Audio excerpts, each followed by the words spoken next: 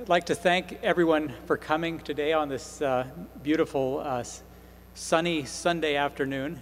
And I guess our question is just uh, was, it, was it free will that brought you here today, or free will for those who decided to stay out in the sun? Um, my name is Paul Gailey. Um, uh, Bob Pollack and I, who, uh, where, where is Bob? He's there's Bob Pollack. Excuse me. Bob Pollack and I uh, are, will be your host uh, for the next day or two. And um, uh, we, we would just like to welcome you here today and uh, appreciate your participation. Uh, before we begin, uh, please join me in thanking the CSSR staff for the incredible job that they've done in organizing this meeting. And um, uh, Bob Pollack and I will take responsibility for, for coming up with this wild idea, but the ones who really made it happen are here, uh, especially Eleni Nikotopoulos, who's the conference organizer, uh, also Ossian Foley, Stuart Gill, Miranda Hawkins, Aaron Lothus, uh, Keely McPherson, oh, and also should say Timon McPherson uh, there as well, uh, uh, Wei Yi Mu, Cynthia Peabody, Andrew Sinanoglu, and also uh, uh, Kelly Treater, who uh, doesn't show up on there right now. And uh, if you could all stand just for, for a moment, um, we really owe this conference to them. So let's give them a hand.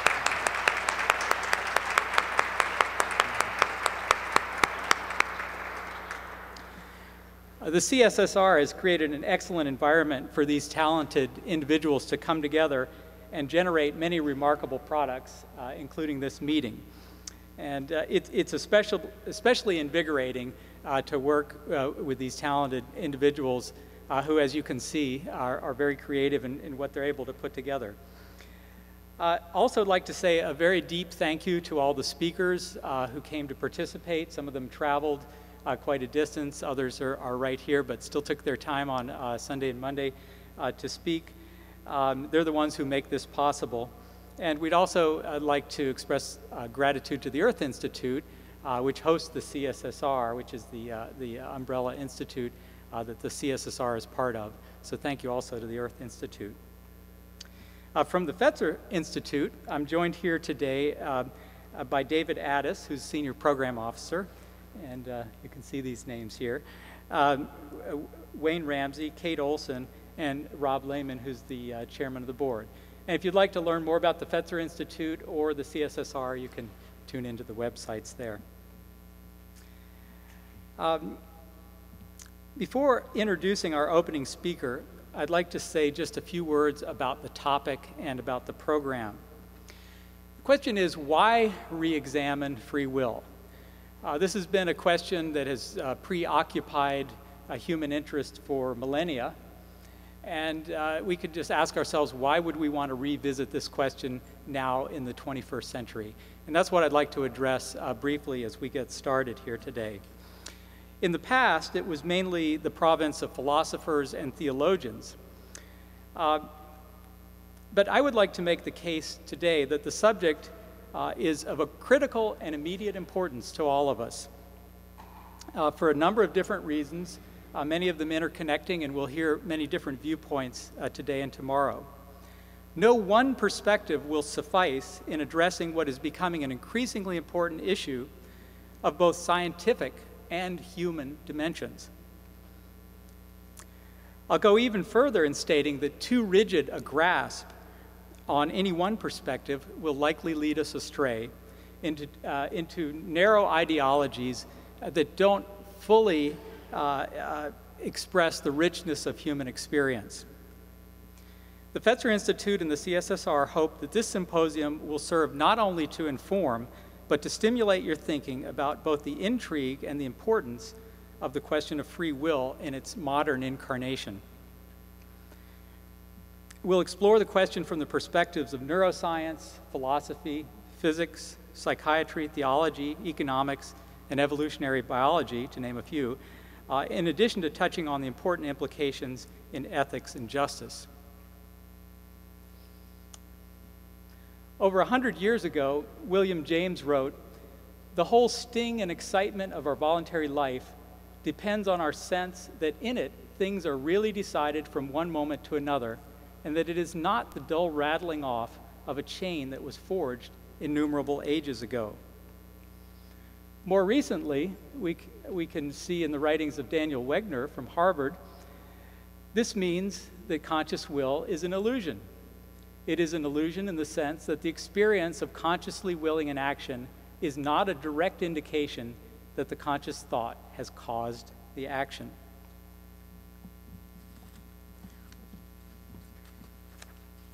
Many of us are also aware of the experiments of uh, Dr. Benjamin Libet, who passed away recently, which indicates that the body initiates an action uh, uh, before we are even consciously aware of making the decision. I'm sure we'll hear more on these topics uh, today and tomorrow, um, but we have to ask ourselves right from the beginning can we assume then that the verdict is really in? Do we really understand free will in this day and time and what its implications are for us today? Unfortunately, the answer is no, Uh, at least in my opinion. I think that the answers we have so far only raise a new series of questions. Uh, conclusions that are based on the uh, Libet experiments and sim similar work follow a very simple logic that is, that a cause must precede an effect. And so we're working on that, that basic logic. What is our concept of free will? Is it that we as humans are able to originate causes?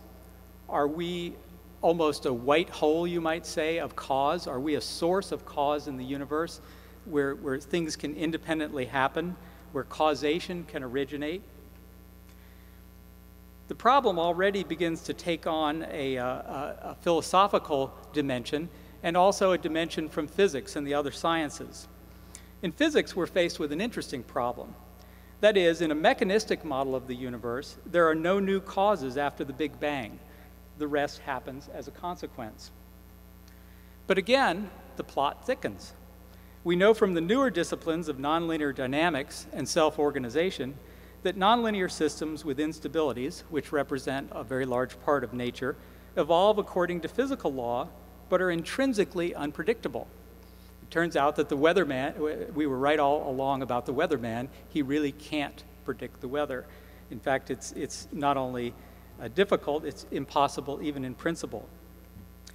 Studies of the solar system by Poincaré over 100 years ago revealed these truths, and more recent studies from Lorenz to Haken, uh, Haken and uh, Prigogine and others uh, have only expanded on this paradoxical story they've proven uh, that, that it truly is impossible to make these kinds of predictions. But herein uh, lays another layer of mystery. Self-organizing systems uh, or emergent systems, such as a hurricane, your heartbeat, or for that matter, uh, the activity of your, of your brain, twist our logic into a Mobius strip.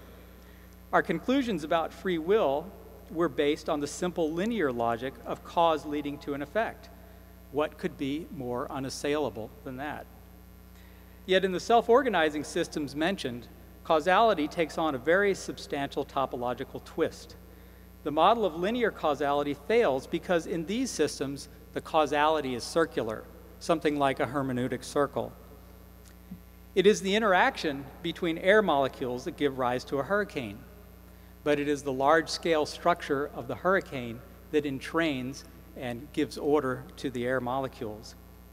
Giving a gift may represent uh, part of the process of developing a friendship, but the friendship may also be the reason behind giving the gift. While we normally think of bottom-up causality in science, for example, neuronal activity giving rise to mental activity, self-organizing systems demonstrate inescapably that top-down causality is equally as important. There is no little man inside a galaxy running from star to star, telling them each how to behave in order to form the beautiful spiral structures. Any more than there is an independent agent telling the molecules of the hurricane how to organize themselves. We can't identify a cause for these self-organizing systems just as we can't find the beginning of a circle. Now, what does this new but very relevant and demonstrable geometry of logic do to our question of free will? On first thought, it may force us to question the structure of our questions rather than finding contentment with the tentative answers.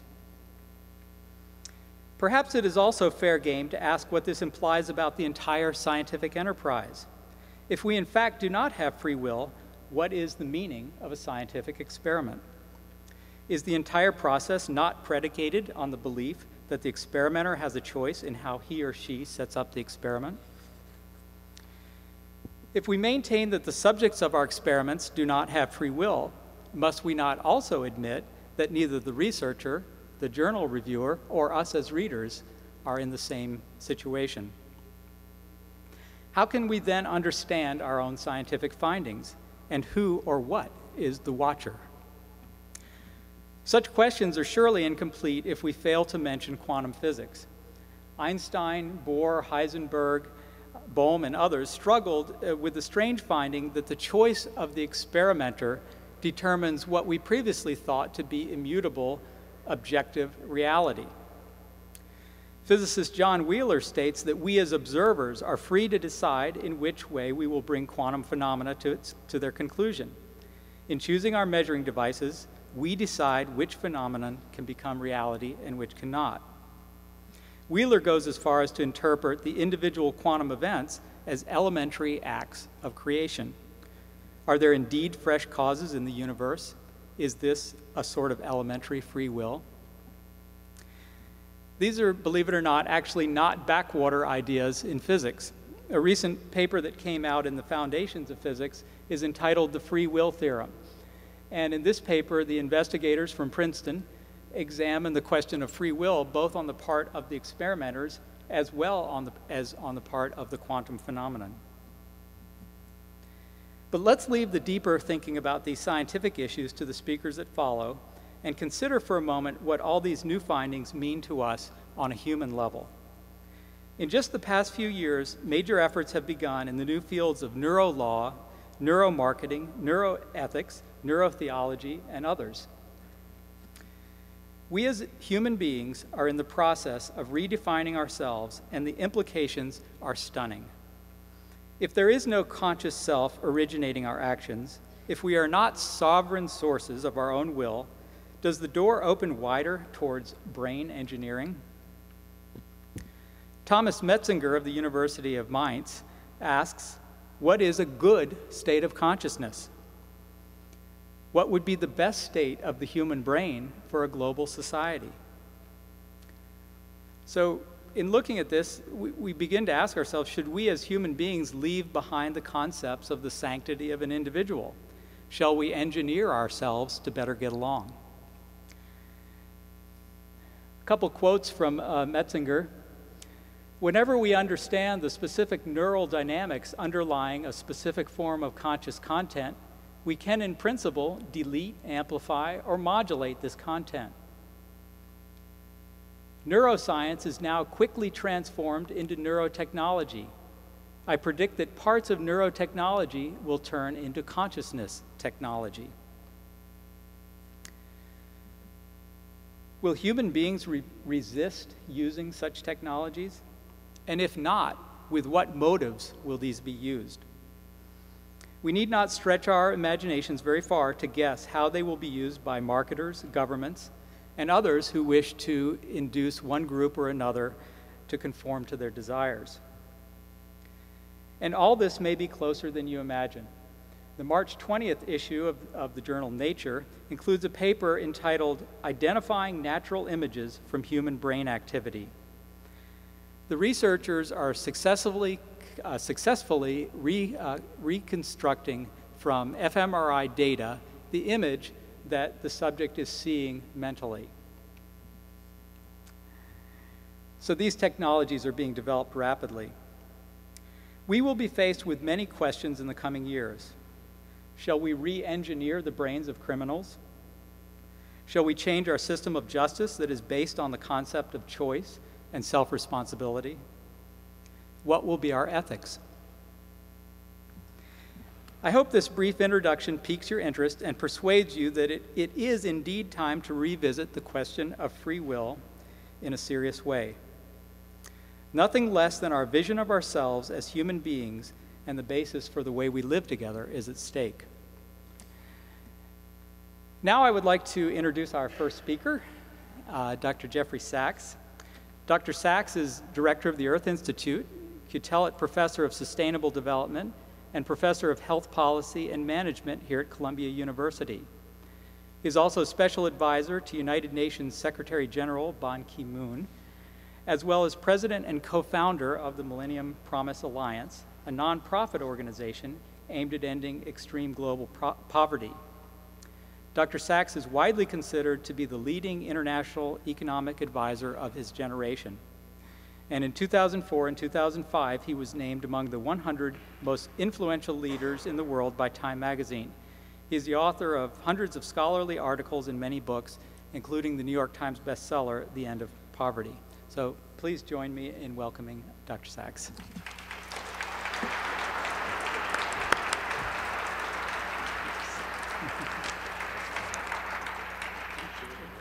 if you want that. Good, that's fine.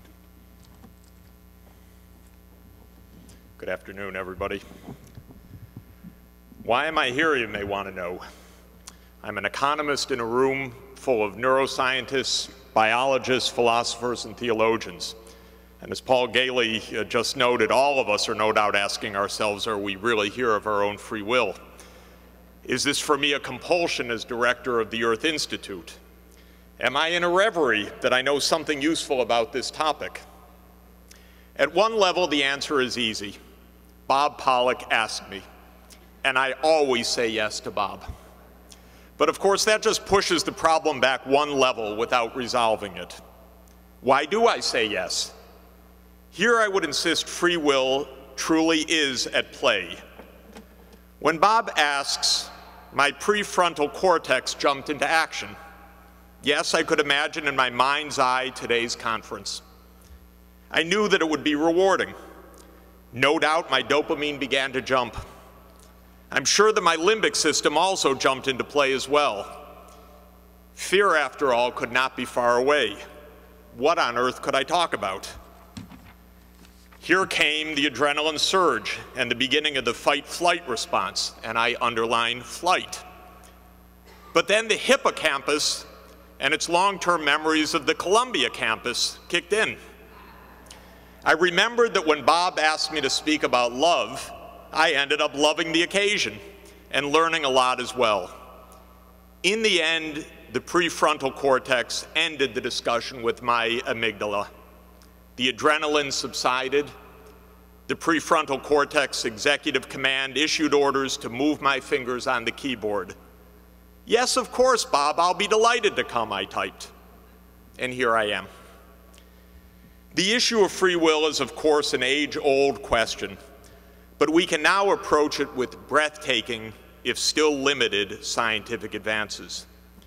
In a general sense, I believe today we are engaging in consilience, E.O. Wilson's concept of the jumping together of knowledge. Like Ed Wilson, I believe that neurobiology has the potential to provide one of the great breakthroughs of our time, perhaps the best chance to better understand our human natures and to act usefully upon that knowledge. Our human consci consciousness and our human conscience are being opened up to dazzling scientific inquiry. The evolutionary and physiological bases of human behavior are being elucidated before our eyes. And our belief, as ancient as the Buddha and Socrates, that by knowing ourselves we can lead richer lives and have more productive societies, I also believe can be brought closer to fruition. Free will is partly about the ancient mind body problem. Is there a mind separate from the brain? Is the mind the soul? Can the mind shape the brain? Can the mind cause action? It is, of course, also about the basic questions of cause and effect, as Paul just noted. If the mind can cause action, what causes the mind to take the decisions that cause action? I will use free will in one main sense actions that are taken after conscious self reflection even if, or particularly if, those decisions are based coherently on goal-oriented cause and effect motivations. In human terms, I would suggest free will does not mean a lack of preceding causes, but rather a grounded and functional self-awareness of those causes.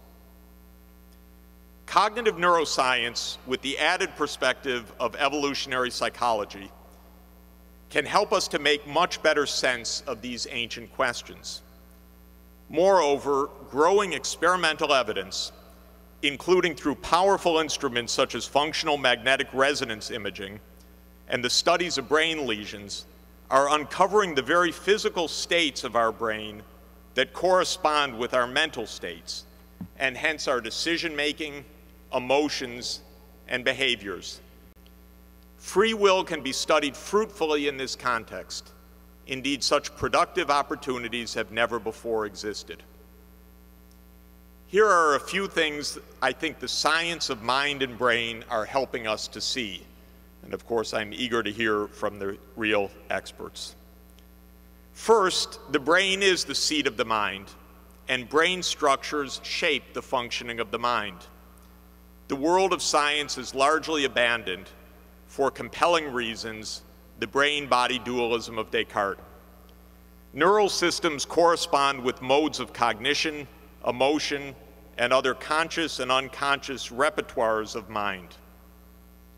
Second, the human brain has been built in the course of evolution through an accretion of levels of function and structure. Famously, we still have our reptilian brain. Eliot Spitzer just proved it again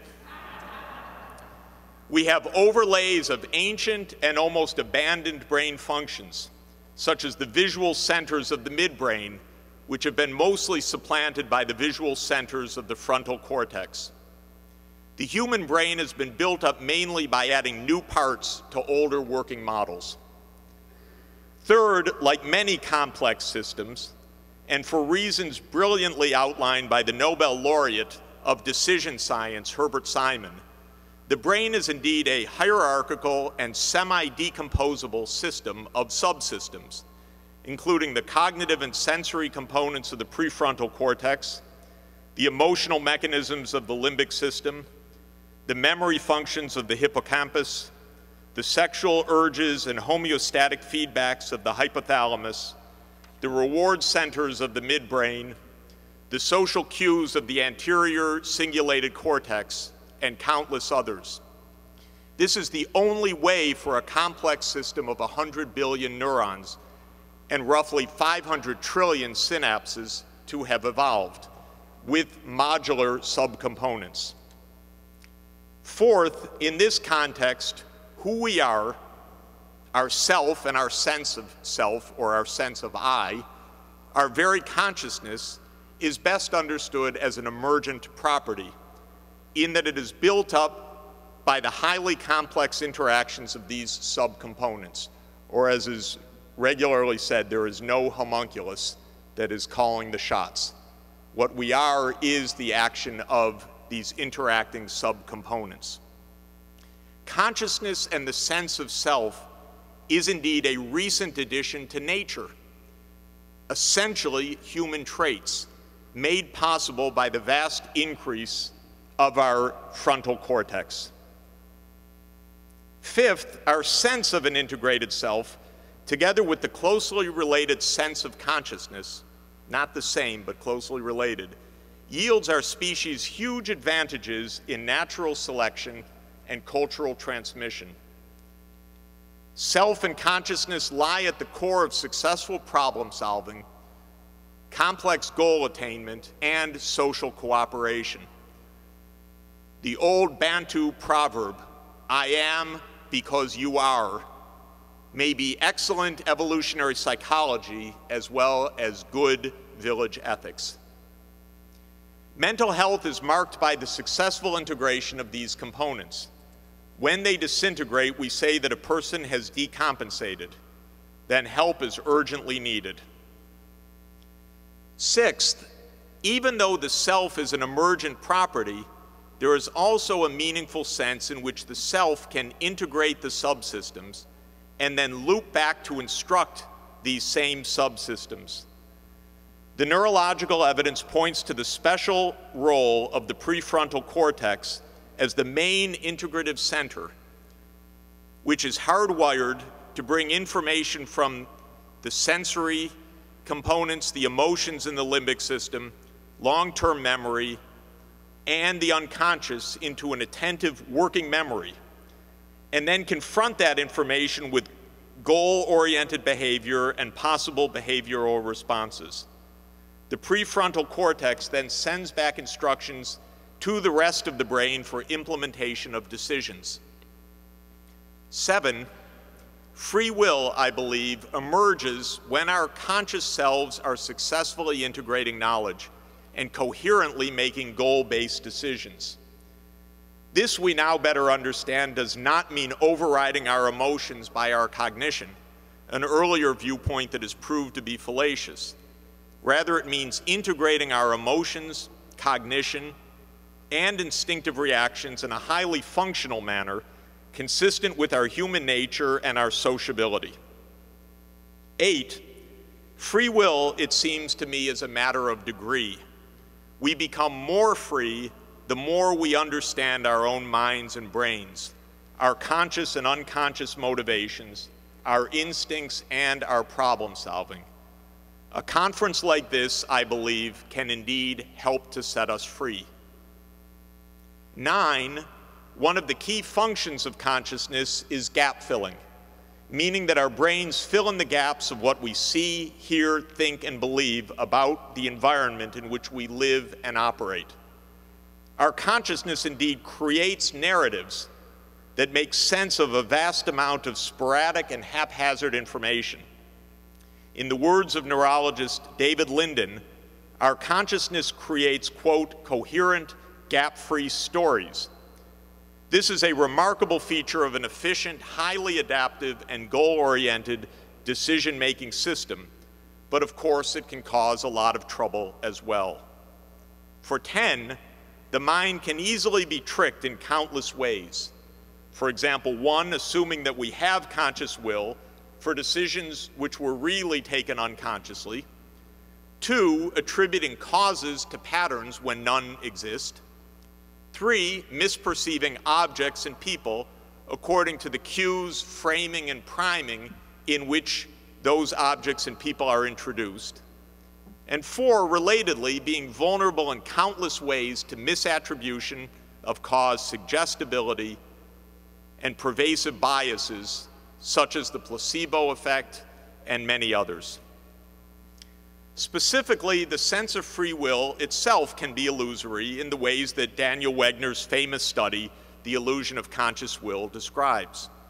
We may believe that we are consciously integrating knowledge to pursue our goals when in fact we are simply responding, or I shouldn't say simply, we are responding to unconscious processes.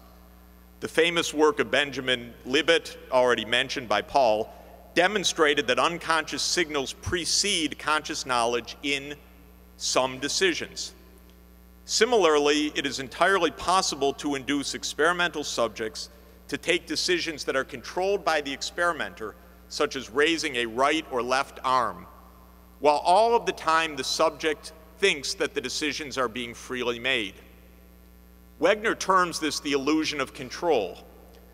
Similarly, he points to the remarkable cases of automatism, as he calls it, such as hypnosis, in which individuals engage in complex behaviors with no conscious willing of their actions. These examples exemplify the truth that consciousness, the self, and the will are emergent properties, and that it's possible to trick or substitute our or possible to trick our brains by hijacking one or more of the underlying components of our brain functions. But this does not mean that all is illusion. The fact that our senses can be tricked does not mean that our eyes always lie. Nor does the ability to trick our will mean that our decisions are also always a lie. So I think that the Wegner analysis shows exceptions that should be regarded as exceptions, not the predominant rule that somehow prove that all is illusion. Why does all of this matter, and matter urgently? For three critical reasons, I believe. First, we can better understand ourselves. Second, we can hope to improve ourselves as individuals. And third, and of much interest to me as a social scientist, we can help to build social institutions more attuned to our human nature and therefore more adept at avoiding some of the traps of human nature, most notably violence, war, and discrimination between us versus them, all of which seem to be hardwired to some extent as a result of our species' long sojourn in the African savanna during the formative period of our cortex. Yet hardwired does not mean immutable or impervious to moderation. That, I think, is the point of social institutions. On the individual level, we are better off to see our struggles between temptation and rationality not as the work of the devil, but as the work of ingrained tendencies in the brainstem, the limbic system, and the cortex. That's not an idle observation, I believe, but an operational one. By better knowing the reasons for our actions, by understanding that we are indeed guided by overwhelming unconscious urges as well as conscious ones, by uncovering those in a scientific way which Sigmund Freud could not hope to do, we can indeed hope to find some respite from the hard struggles of life. In a recent very fine book, Train Your Mind, Change Your Brain, science journalist Sharon Begley describes how patients with obsessive compulsive disorders were, for the first time, able to confront and overcome their disorders when they watched their limbic systems light up under an fMRI. The feedback from monitor to mind to behavior was rapid and life improving, at least for some of the patients. Self knowledge was power, and indeed, this is a sense in which free will was literally regained. This leads more generally to my second point neurobiology as liberation and free will as a progressive human goal rather than a matter of human nature. By understanding the wonders as well as the limits of our brains, by recognizing how we are easily duped and how easily we dupe ourselves, we have an opportunity to overcome much avoidable pain. What is especially exciting, I believe, is that in doing so, we can combine ancient wisdom and cutting edge knowledge. When it comes to understanding the brain, the partnership of the Dalai Lama and the MIT neuroscientists provide a wonderful service to us all. Buddhist meditation and philosophy, Jewish, Christian, and Muslim teachings on justice and ethics, and nuclear magnetic imaging will all play their role. As a social scientist, I am persuaded of a third point. Understanding human nature in its neuroscientific complexity will give us new tools for social life. We learn, for example, how our limbic system, our brain's fear and aggression center, is primed by hunger and deprivation. We learn how the inhibitory impulses of the cerebellum induce us to respond to physical pressures with greater force than we understand we are applying to others unwanted escalation can be, the, can be hardwired in certain circumstances in the pushing match at the bar that ends up in a death. We learn again and again in psychological studies how we are prone to magnify tiny human differences into great divides of us versus them. In all of these ways, we are not free at all, but gripped by unconscious forces that we need to understand in order to control. In his preface to my new book, Commonwealth, E.O. Wilson put the human predicament in the following way. As we grapple with our massive ecological and geopolitical challenges, Wilson note, noted that, quote, we exist in a bizarre combination of Stone Age emotions, medieval beliefs, and godlike technology. That, in a nutshell, is how we have lurched into the early 21st century, end quote. Or as he concluded Consilience, and I quote again, is it worth asking repeatedly? It is worth asking repeatedly, where are our deepest roots? We are, it seems, old world catarrhine primates, brilliant emergent animals defined genetically by our unique origins, blessed by our newfound biological genius, and secure in our homeland if we wish to make it so, end quote.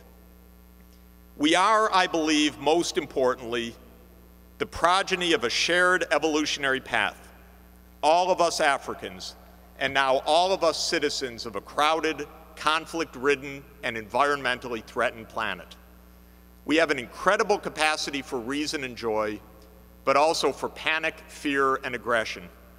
And we are potentially free. Today's conference can help us on that quest. Thank you very much.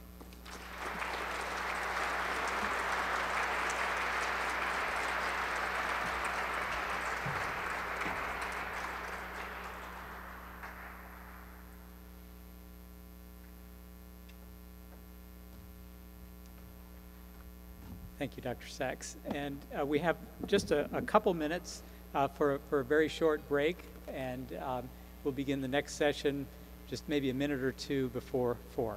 Thank you.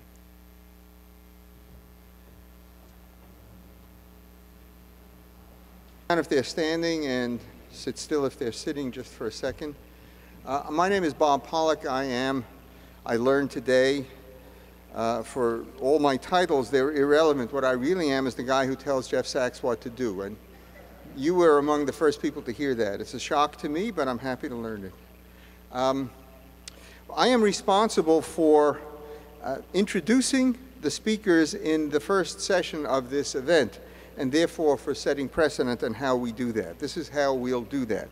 The session is called Free Will in the Natural World, and uh, I, we have uh, three Columbia University professors, colleagues, and friends speaking.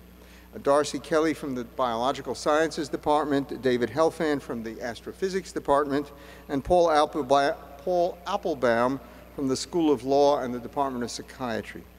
Uh, I'd like to, to do it this way. Each of them has a time slot of 40 minutes. I know they won't go over. If they go under to any extent, we'll just have me introduce the next person. When we're done with all three, all four of us will come up and fill these seats. And we will then have time for a discussion amongst ourselves and with you by questions to microphones until we're scheduled to close this at 6.30. So uh, that said, that's to explain why, even though there are four chairs, mics, and bottles of water, we're not going to be sitting up here until we're all three of us uh, introduced and done. And before I introduce Darcy as a first speaker, I, I want to give a, a brief response to what we've heard so far by way of introducing the notion of free will in the natural world, which is an interesting heading actually because it implies there are other places. Um, well, like the mental world, if it's not entirely natural. The question for today, in my mind, in this session, is how we understand the extremes of free will in the natural world. And uh, I will talk about the two ends of, of the extremes of the availability of free will in, in humans.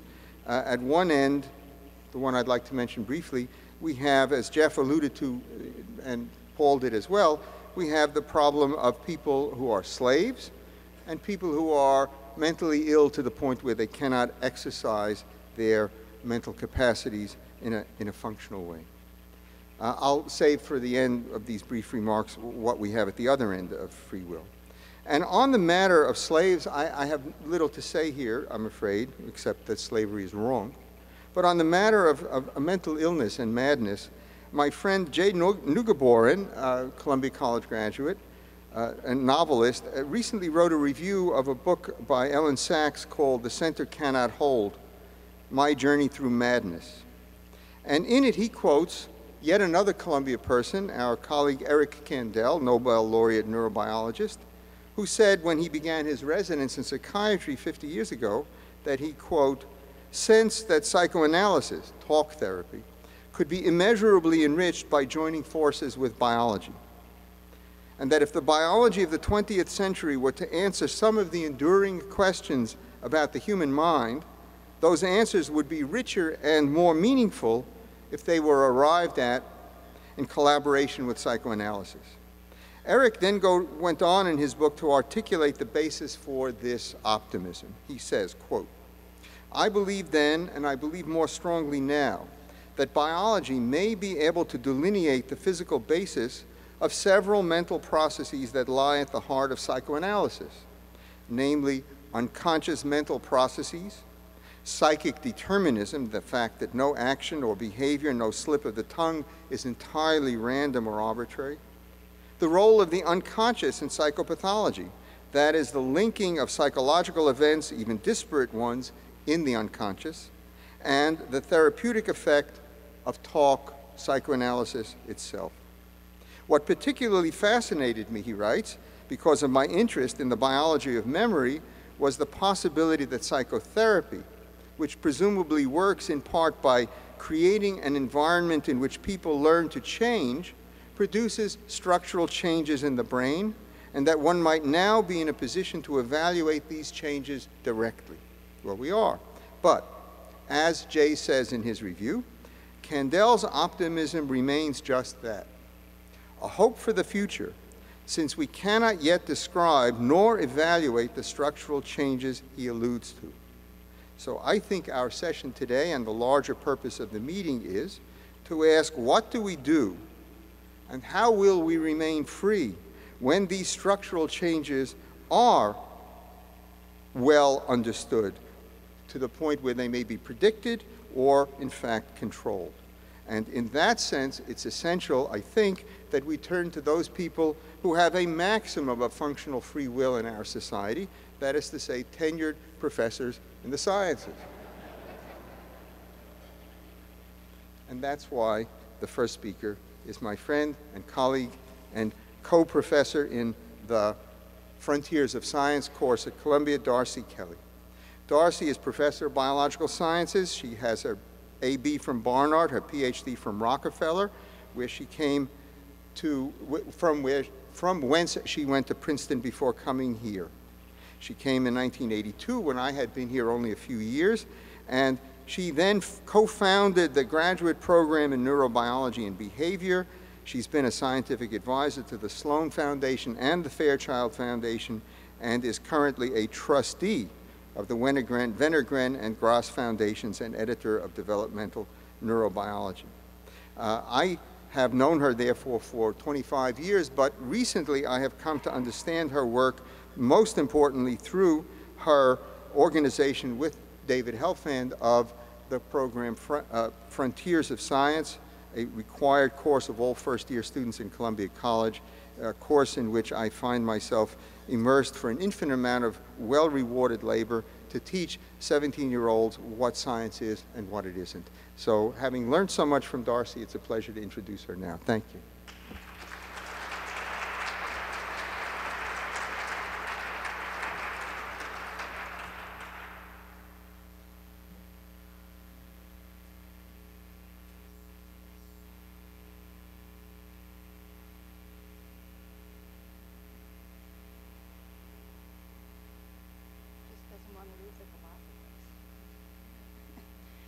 Um, so I'd like to thank Bob for inviting me. Uh, like Jeffrey, I uh, was full, full of terror at the thought um, of actually giving this talk, but it turned out to be very enjoyable and I learned a lot. So that's what Bob's contribution is to our intellectual life. He encourages you to do things and think about problems that you wouldn't think about otherwise.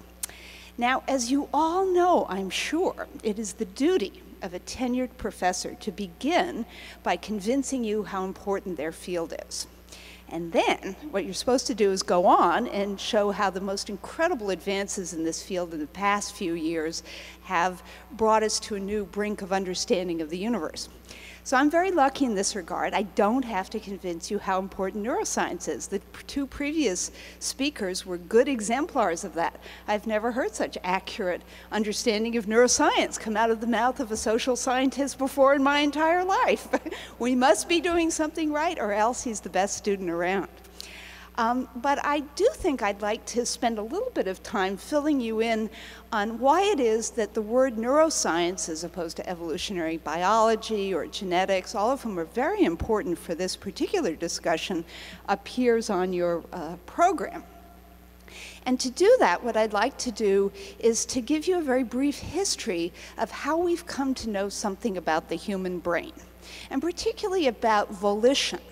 Um, planning actions in the human brain, which lies at the heart, I think, of the intersection between the topic that we're talking about today, which is free will, and the topic of how the brain works.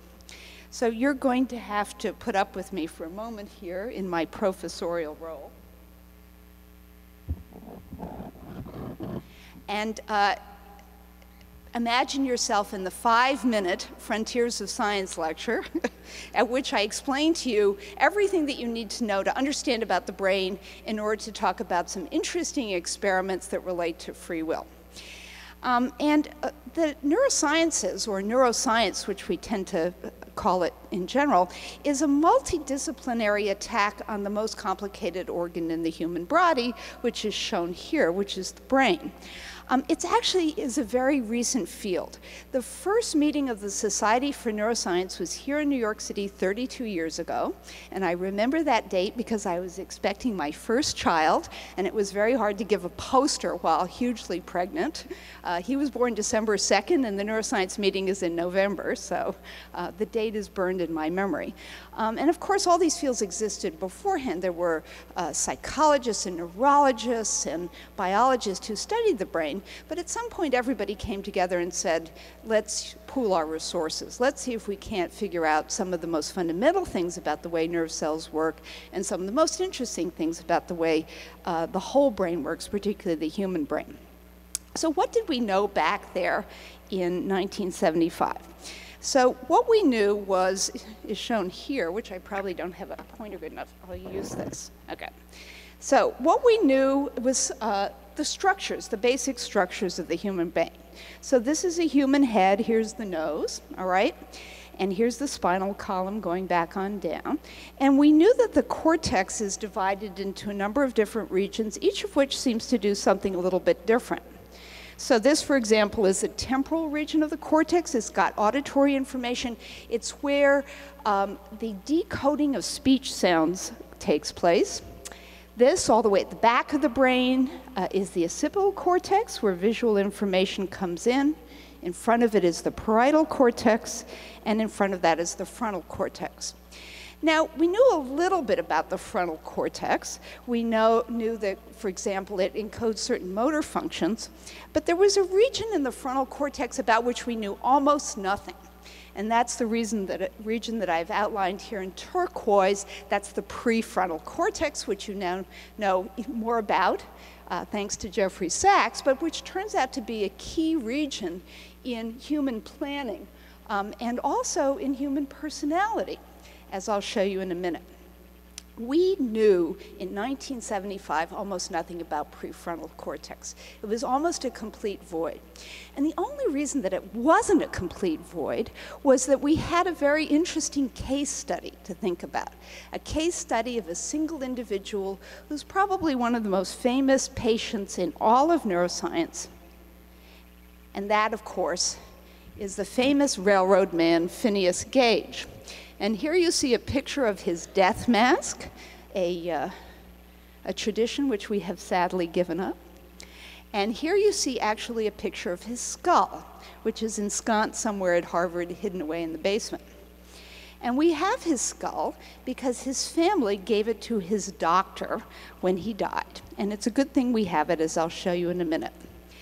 So, Phineas Gage Phineas Gage was a foreman of a crew of railroad construction workers who were excavating rocks, actually granite, to make way for a railroad track. This involved drilling holes deep into the boulders and filling them with dynamite. A fuse was then inserted in the entrance to the hole plugged with sand so that the force of the explosion could be directed into the boulder. This was done with a crowbar-like tool called the tamping iron. Plays a big role in this story. On the 13th of September 1848, 25 year old Gage and his crew were working on the Rutland and Burlington Railroad near Cavendish in Vermont. Gage was preparing for an explosion by compacting a bore with explosive powder using a tamping iron. While he was doing this, a spark from the tamping iron ignited the powder, causing the iron to be propelled at high speed straight through his skull. It entered under the left cheek, uh, bone and exited through the roof of the head and was recovered some 30 yards from the site of the accident. Needless to say, none of his coworkers expected him to survive, but he did. And so did the spike. So, in addition to Phineas Gage's skull, Harvard also houses the spike, and you can see that it is no inconsiderable instrument for lesioning the brain. And you can see the hole in his skull. Well, you probably can't see it, but look at his left cheekbone, uh, which is to your right. Um, that's where the spike went in. And then look at this hole on the top of the head, which is where the spike came out. Okay? This actually turns out to be an important part of the story. Okay, so Gage was uh, taken care of by Dr. Harlow and he recovered, but he did not go back to work, and this is why. His contractors, who regarded him as the most efficient and capable foreman in their employ previous to his injury, considered the change in his mind so marked that they could not give him his place again. And this is a quote from one of them He is fitful, irreverent, indulging at times in the grossest profanity, which was not previously his custom. Before this, he was a very uh, circumspect person manifesting but little deference for his fellows, impatient of restraint of advice when it conflicts with his desires, at times pertinaciously obstinate, yet capricious and vacillating, devising many plans of future operation which are no sooner arranged than they are abandoned in turn for others appearing more feasible. In this regard, his mind was radically changed, so decidedly that his friends and acquaintances said he was no longer Gage okay? And I'm going to return to this last sentence, which I think is the key to the whole issue. Um, but this does point out something that Jeffrey brought up, which is that lesions, damage to the human brain, are a major source of information for us on how the human brain works. As you know, we know a lot about the nervous system, but most of the details comes from experiments in animals. In humans, we must rely on natural experiments, the experiments of stroke, the experiments of uh, blood vessels bursting and this rather large scale experiment of having a, a spike be driven through somebody's brain. Okay, so we, it's possible to reconstruct the part of the brain that the spike went through. So this is a picture of the spike here. Here it's entering in the left cheek, here it's going out the top of the head, because placements of brain in the head are very predictable. And we can actually ask what part of Gage's brain was damaged. And we believe that it's a causal relationship because he was fine beforehand and he was a mess afterwards, okay? So it turns out the part that was damaged was that same turquoise part that you saw in the previous slide, the prefrontal cortex. So this is a side view of the human brain. This purple part is prefrontal, this is premotor, and this is motor. So this whole thing is the frontal lobe. If you look at the brain from underneath, you can see how much of the underneath part of the brain, which we call the ventral part of the brain, is uh, turquoise and is prefrontal lobe. And here's a view from the middle. If the hemisphere was cut away, you're looking right at the middle. And you can see that that spike was driven almost entirely through the frontal lobe. And so, for a very long time, everything that we knew about the function of the frontal lobe really was predicated on cases like Gage, and he was the best case. Um, recently, however, we've come to a more sophisticated understanding of the frontal lobe, none of which denies anything that we learned from Gage. But you yourself could look at his behavior and say, well, he doesn't seem to be able to restrain his impulses. Um, he uh, doesn't seem to be able to plan in any long term way. Uh, and the uh, relationship of short term and long term reward to planning seems somehow disordered. And you could tell that just from the case study, and that's why neurologists like Oliver Sacks, who's now a member of our faculty, um, are such a good source of insight into the function of the, of the prefrontal cortex. So, what do we think about the prefrontal cortex nowadays? So, my colleague Bob Sapolsky, who's at Stanford, says this about prefrontal cortex. Um, on a certain metaphorical level, the prefrontal cortex is the closest thing we possess to a superego. It is the job of the prefrontal cortex to bias an individual towards doing the harder rather than the easier thing. And he's quoting a paper by Miller and Cohen, and I'll talk about Cohen again in a moment, who's at Princeton. Sapolsky, you know, is the famous guy who wrote Why Zebras Don't Get Ulcers, one of the best science writers around. So, the way we typically distill this, and it's an oversimplification, is that the prefrontal cortex, the job of the prefrontal cortex is something called executive function. And, uh, and the question is, what do we mean by executive function? And what is it that we think the prefrontal cortex does? So for a very up-to-date up view of the prefrontal cortex, I give you this hideously complicated diagram. And I learned in my reading on the prefrontal cortex that we could understand this diagram better if I explained to you what the boxes and the ovals are. So every box on this diagram is a part of the brain. So the red box is the prefrontal cortex. Um, down here you have the limbic system, including the amygdala that Jeffrey Sachs talked to you about, and the hypothalamus. Here you have the hippocampus, a structure intimately involved in learning and memory. Um, over here you have the anterior cingulate cortex. This is a fascinating area of the brain. It lights up at the onset of romantic love and also lights up for parental love. Um, and so those are the boxes, and then the ovals are functions or inputs to the prefrontal cortex. So there's a perceptual input, and outflow, there's memory, there's emotion and drive, and then most importantly, there's the selection of a form of action which goes through these premotor areas.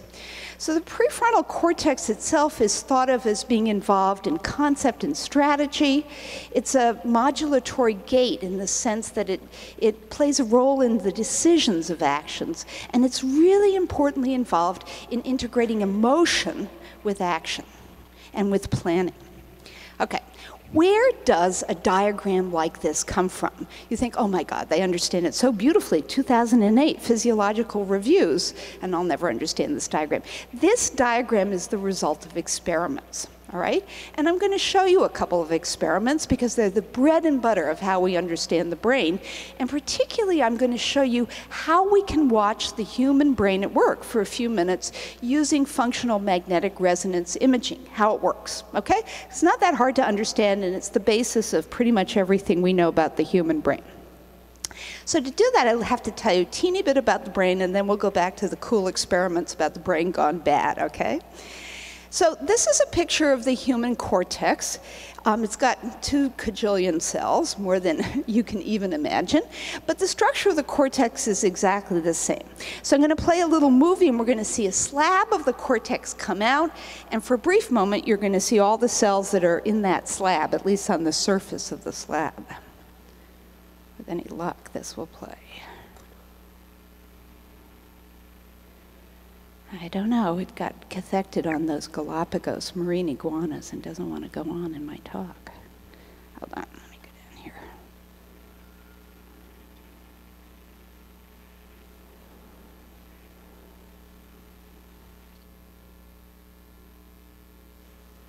All right, well, forget about the slab. It, it, it expressed its free will by refusing to play the movie. So if we pull a slab of the brain out and take a look at it, we see all these tiny, tiny gray dots. And what those are are the cells that make up the brain, the neurons or the nerve cells. Now you can't see them with your eye because they're too small. They're 10 or 20 micrometers across. A millimeter, which you can visualize, is that smallest thing on one of those metric rulers, okay, is a thousand micrometers. So they're a hundredth of that, and you just can't see them with your eye. So you have to see them with a microscope. But when you look at them with a microscope, what you see is that they have a structure that's devoted to the processing of information. So information comes in here, um, and information travels from one nerve cell to the other, down this space here, and nerve cells communicate at synapses, which is also something that Jeffrey mentioned. So the way that information travels is electrical. There's an electrical signal that travels down. There's a chemical released at the end of this uh, part of the cell, and then the next cells produce an electrical signal, and that electrical signal is called the action potential. Okay? So this production, that's how you think, by the way. that's how you listen inside of your brain, right at this moment. Two cajillion action potentials in different parts of your brain. If I were to say something surprising and shocking or show you a scary picture, there'd be action potentials in your prefrontal cortex, right? If I said something deeply boring, everything would shut down, your reticular formation would come on, and you'll have a lovely snooze. Now, It's a cell, right? The nerve cell is a cell. It needs energy and oxygen to work. And in fact, the brain is an incredibly oxygen hungry organ.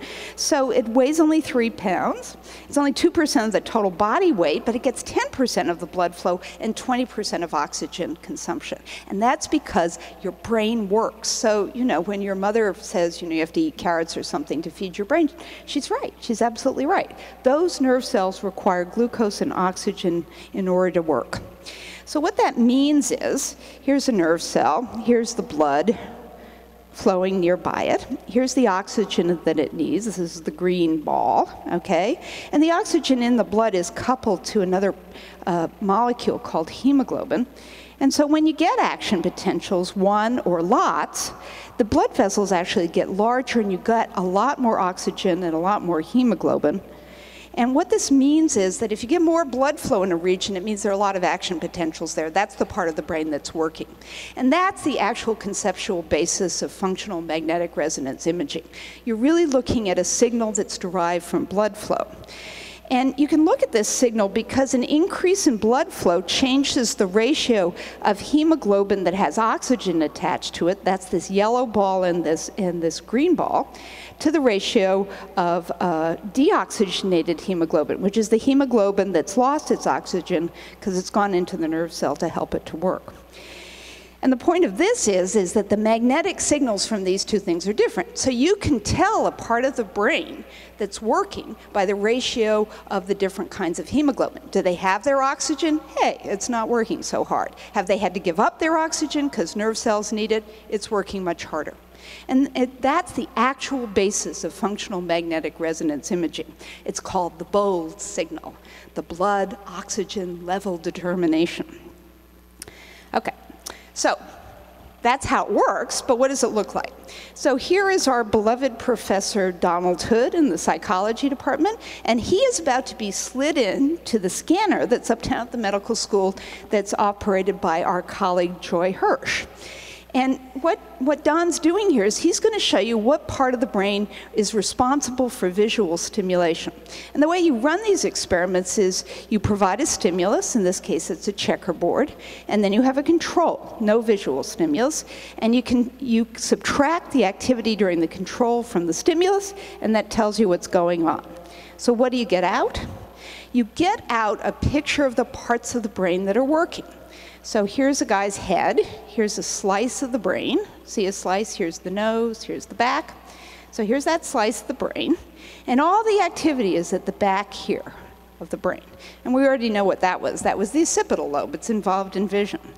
And the way you do it mechanically is you actually measure in every little single bit of brain tissue in a unit called a voxel, the difference between no visual stimulus and a visual stimulus, and you subtract the blue line from the black line. That's the basis of the technique. It's, um, it's cool. It's beyond cool. but it's a subtractive technique. So you can, so, so just imagine what this is. You can watch the human brain at work. This is a real advance. We never could do this before. It's non-invasive, sort of. The magnets are really loud. But you're not sticking something in anybody's brain. You're not pulling out part of the brain. You're not putting an electrode. You can actually watch nerve cells at work. Okay, now we're going to do an experiment.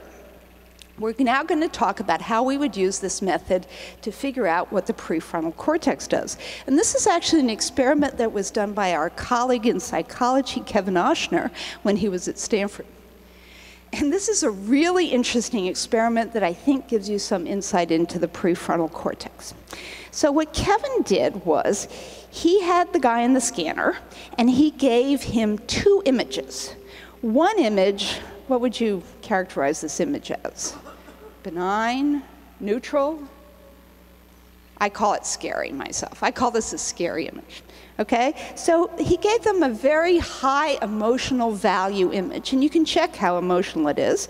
And for the control task, he gave a neutral image. This is actually something I got in the web on constructing face recognition.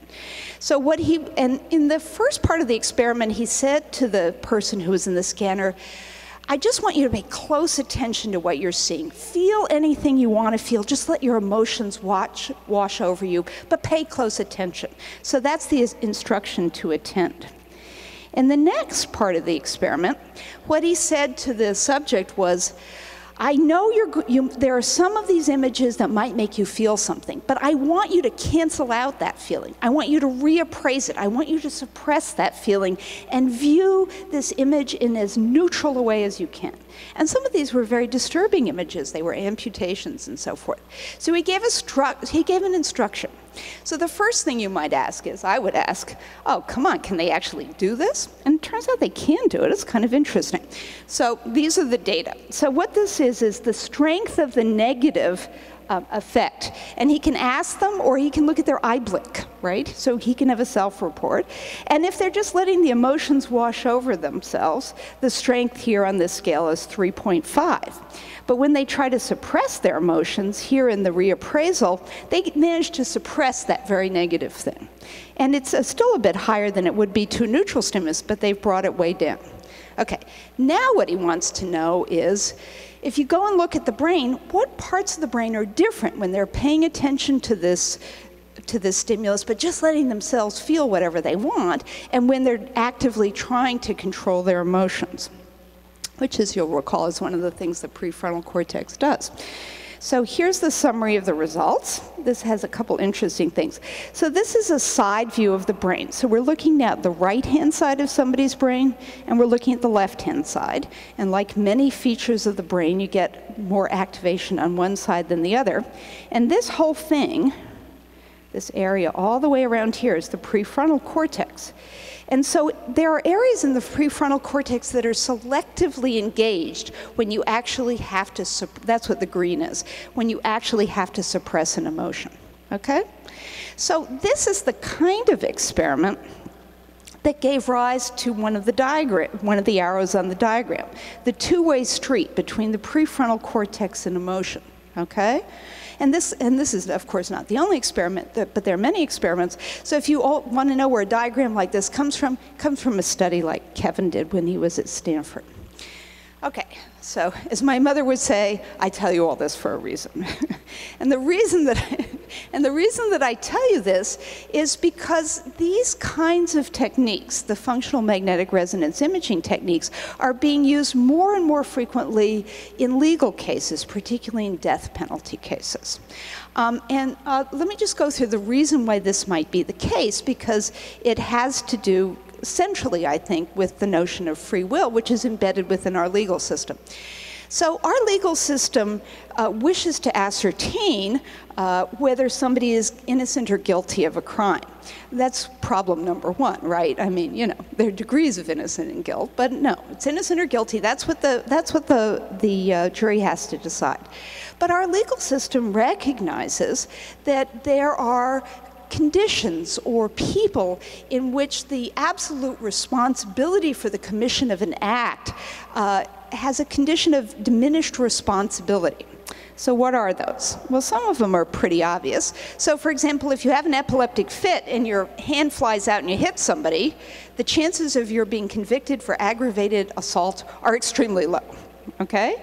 You were in the midst of a fit. You didn't even know you hit them, right? That's a neurological disorder. We also recognize that there are periods in time in the lifetime of human beings when, in fact, their notion of the consequences of their actions is not completely developed. So, children, for example, are not held to the same standards of guilt and innocence, and certainly not to the same standards of punishment, little children anyway, um, as adults. And finally, and this is most recently and most germane, there's madness. If while you're hacking off the neck of a person, you think you're cutting a loaf of bread. The law recognizes that you are not in a, in a completely competent state, that you have diminished responsibility.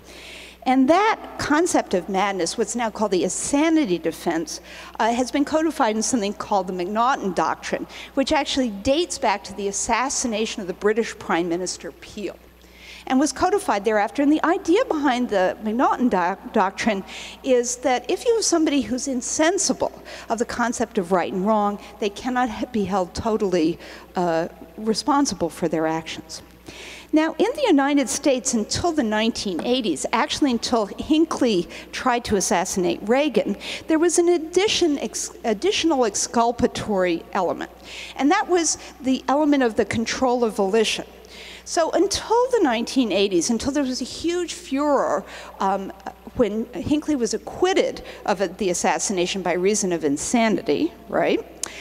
Uh, it was felt that there were people who recognized the difference between right and wrong, but couldn't help doing what they did. They had very poor control of their impulses. Their volitional control was compromised. After the 1980s, part, because of this, in large part because of this, this kind of uh, exculpatory defense has been practically annihilated. But it resurfaces again again in the arguments of neuroscientists because, in point of fact, most of our understanding of the prefrontal cortex indicates that the control of volition has as strong a biological basis as madness, as childhood, or as epilepsy. And in fact, the field of neuroscience does not now currently make distinctions between psychological ailments and neurological ailments. They're both functions of the brain. And there's a very nice paper, this Greene and Cohen paper. There's a whole issue of the Proceedings of the Royal Society devoted to this. Okay, that's the idea. What's the experiment? Okay, we're scientists, we want to do an experiment. And this is a recent, very important experiment that speaks to the function of the prefrontal cortex in moral judgments. Um, so it's a, a, a experiment. I actually put up all the names here because I long to be called Fiery Cushman. I know Mark Hauser and I know Ralph Adolphs, Tony Damasio, but I don't know this Fiery Cushman person. What a great name. okay, so let me describe to you this experiment. Uh, I'm going to tell you about two experiments, the last two things I'm going to tell you, uh, but it's a very interesting one. So what uh, Koenigs et al. did was they found six brain damage patients that had damage to the ventromedial prefrontal cortex. You remember I told you the turquoise part was bigger on the bottom? So here's the bottom of the brain. And this is the, the redder it is, the more commonality there is in the damage to this part of the brain. So they got six brain damaged people to a specific area of the brain. And first they wanted to know how they were, how were they functioning. And it was actually kind of interesting. What they did was they showed them scary faces, and they uh, measured their galvanic skin response. You remember that thing, it's the thing that's used in the uh, lie detector test. And they all had impaired galvanic skin responses. They didn't feel fearful. And then they gave them a test. Did they feel empathy? Did they feel embarrassment? Did they feel guilt? And a normal subject would have a score of zero here, and they, none of them had zeros. There was one that wasn't too bad, this guy right in here, but everybody else was impaired um, in their empathy, their embarrassment, and their guilt. And then they gave them the famous trolley problem. this is the famous moral dilemma. Now, I'm, i apologize for the picture, and if anybody has a better one, please send it to me. But let me tell you what the idea is. You say to your subject, you say, okay, you are standing here next to a track, and a runaway trolley is coming down, and you have your hand on the switch. If you switch it this way, you'll kill one person. If you switch it this way, you'll kill five people. What do you do? Okay? That's the trolley problem. Okay? Then there's a variant of the trolley problem. In this variant of the trolley problem, in order to have to stop the trolley, what you have to do is actually throw this poor person in front of the trolley. How that works, I have no idea. But anyway, that's the idea. So you actually have to reach out and throw the person in front of the trolley. Okay? And what they did was they asked of their, uh, of their prefrontal damage subjects, of, they had brain damage controls, and of their normal subjects, how much of you would endorse either throwing the switch or throwing the guy in front of the switch. So they gave them this test on, de on de decisions that had no moral component, that weren't the trolley problem. They gave them on the top trolley problem, which we call the impersonal one. You just throw in a switch, you don't have to touch anybody, right? And they gave it to the trolley person on the personal problem. You, not only do you have to touch somebody, but you have to throw somebody, at least mentally, in front of the thing. And where they came up with the biggest differences between the groups was that these people with prefrontal damage had a lot less trouble throwing the person in front of the trolley than the normally brain damage controls. Okay?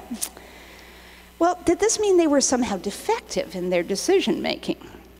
And so they actually ran, they looked at their data much more carefully and they decided, they didn't just give them the trolley problem, they gave them a whole lot. And they decided they had two kinds of moral dilemmas. They had low conflict ones. Would you abandon your baby in an orphanage if you couldn't take care of it anymore? Versus, would you suffocate your baby with a pillow if you couldn't take care of it anymore? So the first one is low conflict, and the second one is high conflict. And the, on the low conflict ones, they didn't get any difference at all, as you can see here, between their prefrontally damaged group, their bra other brain damage group, and their controls. But on this high conflict problem, these guys have really a lot of trouble. And they, they testify to this uh, truism of Sapolsky's that it's the job of the prefrontal cortex to do the harder thing rather than the easier thing. This is a harder, harder thing. They're doing that. Now, you might think that maybe these people are just utilitarian, right? Maybe they've lost all affect. Maybe they're just cold machines and robots and can't feel any emotion at all. And interestingly enough, these same guys tested these same brain damaged people in another test that revealed that not only were they not cold, but they were actually incredibly emotional. And they tested them on something called the ultimatum game. so the ultimatum game is this, all right? I figured out how much. Oh, yeah, okay. So, $20. I give you $20. You're A. You can give part of it to B, okay? If B accepts what you give them, you both get some money, okay? If B doesn't accept it, you don't get any money at all okay? And what you vary in the ultimatum game is the amount of money that the A offers to B. And at some point, usually 20% of the total, B says, ah, you're insulting me, what a low offer, I don't have to take it.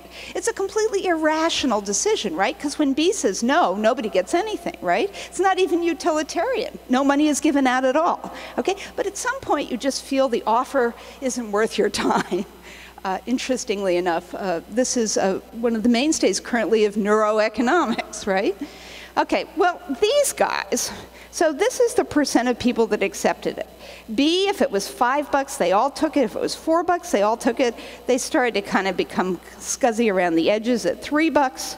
By the time they were down to two bucks and one bucks, only about 30% of the guys took the money, even though they knew rationally, right, they wouldn't get anything otherwise. But look at our ventral premotor cortex damaged person. They say, the hell with you. You have insulted me. They become incredibly angry over this insult. Uh, the, any consideration of rationality of any sort whatsoever is lost. So they're not cool, calm, and calculating. They're just as emotional as anybody else. So, what does this mean in terms of the way we think about the law? And there's a, I, I refer you to their paper where they argue it much more cleanly than I do. This Greene and Cohen paper in the Proceedings of the Royal Society is very interesting. And what they say is look, if this is an area of the brain that's involved in impulse control, which it clearly is, it shouldn't actually matter whether you can tell right from wrong. And the famous example here is did you ever hear the example of the guy who stole cars? It's a very cute example. It's in the Lancet. Uh, so there was this guy, he was fine. He worked in a, he was a mechanic in a, in a car dealership, and he had an aneurysm, a blown blood vessel in his brain, and he recovered eventually, but he couldn't do mechanics anymore, put him in the office. And what he started doing was taking the cars from the car lot. And he took up to 100 cars, and he just leave them in the neighborhood all over the place. And of course, he was arrested and put into jail. And this happened over and over and over and over again. And when you talked to him, he said he knew it was wrong, but he just had to do it, okay? So this is the basis of the current legal fracas over it. And this guy had damage to this part of his brain, right? And he did, he could tell right from wrong. He knew what he was doing was wrong, but he had very poor impulse control. What is it that we should do about this person? Clearly, locking them up is not going to help his impulse control, that's for sure. Um, so uh, Greene and Cohen make the argument, which I must say I buy, that we have to think about diminished responsibility in a different way because of our current understanding understanding of neuroscience. That the, that the notion that it's not him, it's his brain, is basically a completely false notion because he is his brain. There is no me that isn't my brain, nor you that isn't your brain. Every aspect of ourselves, every experience in our lives has imprinted itself on our nervous system, and everything that we do and every reaction that we get is also reflected in our brain. It's not like there's something outside of our brain. And if our brain goes south, our behavior goes south, you have to ask the question of how that maps onto it. Now, you can say to me, and my, I hope my students would say to me, how do you know you are your brain? And of course, you know, it's a difficult and complicated issue, but there's a very simple experiment that I think lends some credence to it.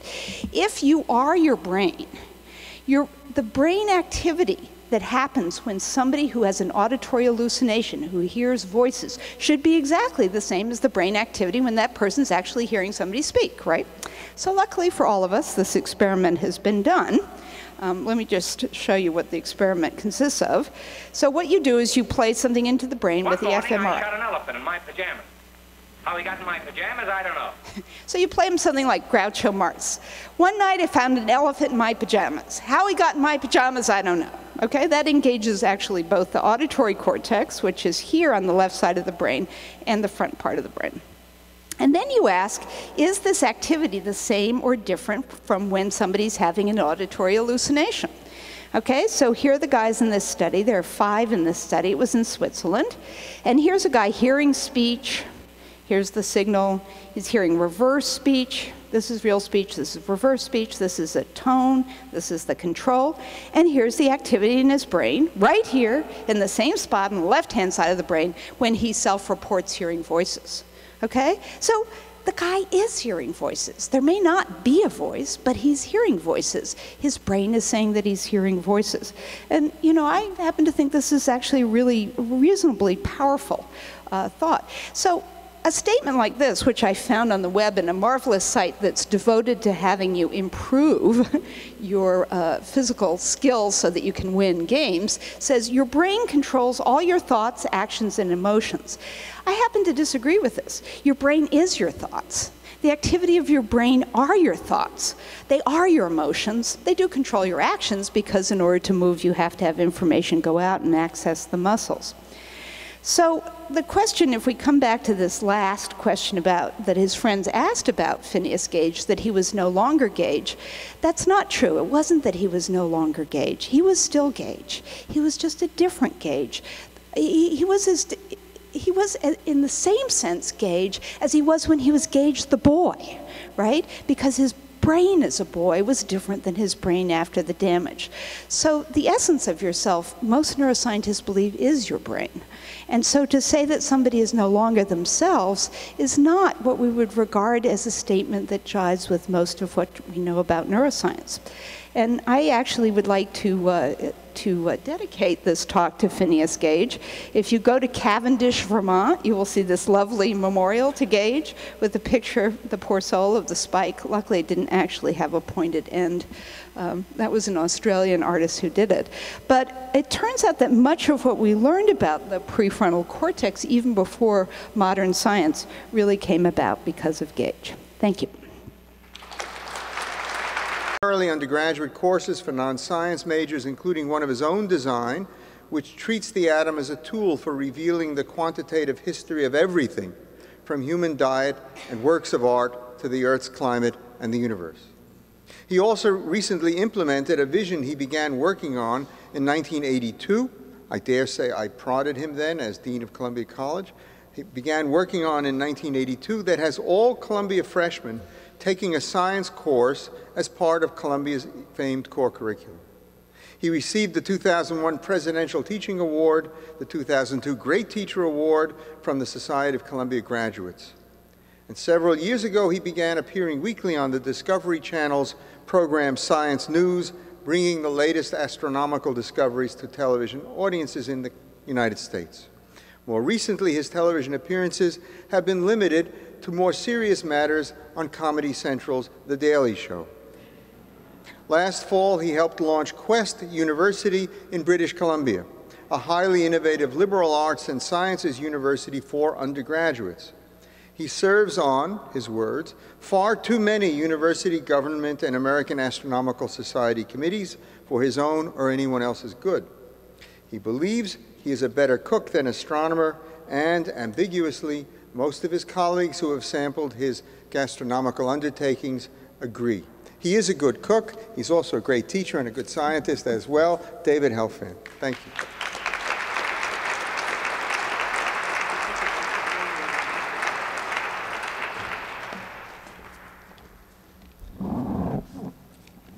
I have only one correction to the earlier part of Bob's introduction, and that is I am not a tenured faculty member at Columbia, and that may perhaps explain why my appearance this afternoon represents a spectacular failure of free will.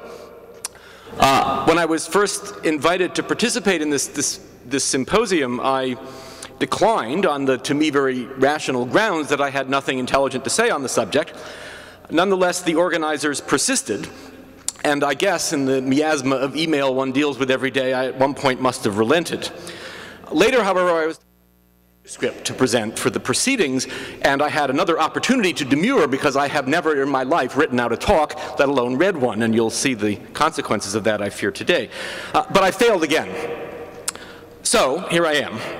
The only saving grace is that I got back from Arizona at 1 o'clock in the morning and only began working on this this morning, uh, and as a consequence, I'll only waste 20 minutes of your time instead of the allotted 40 minutes.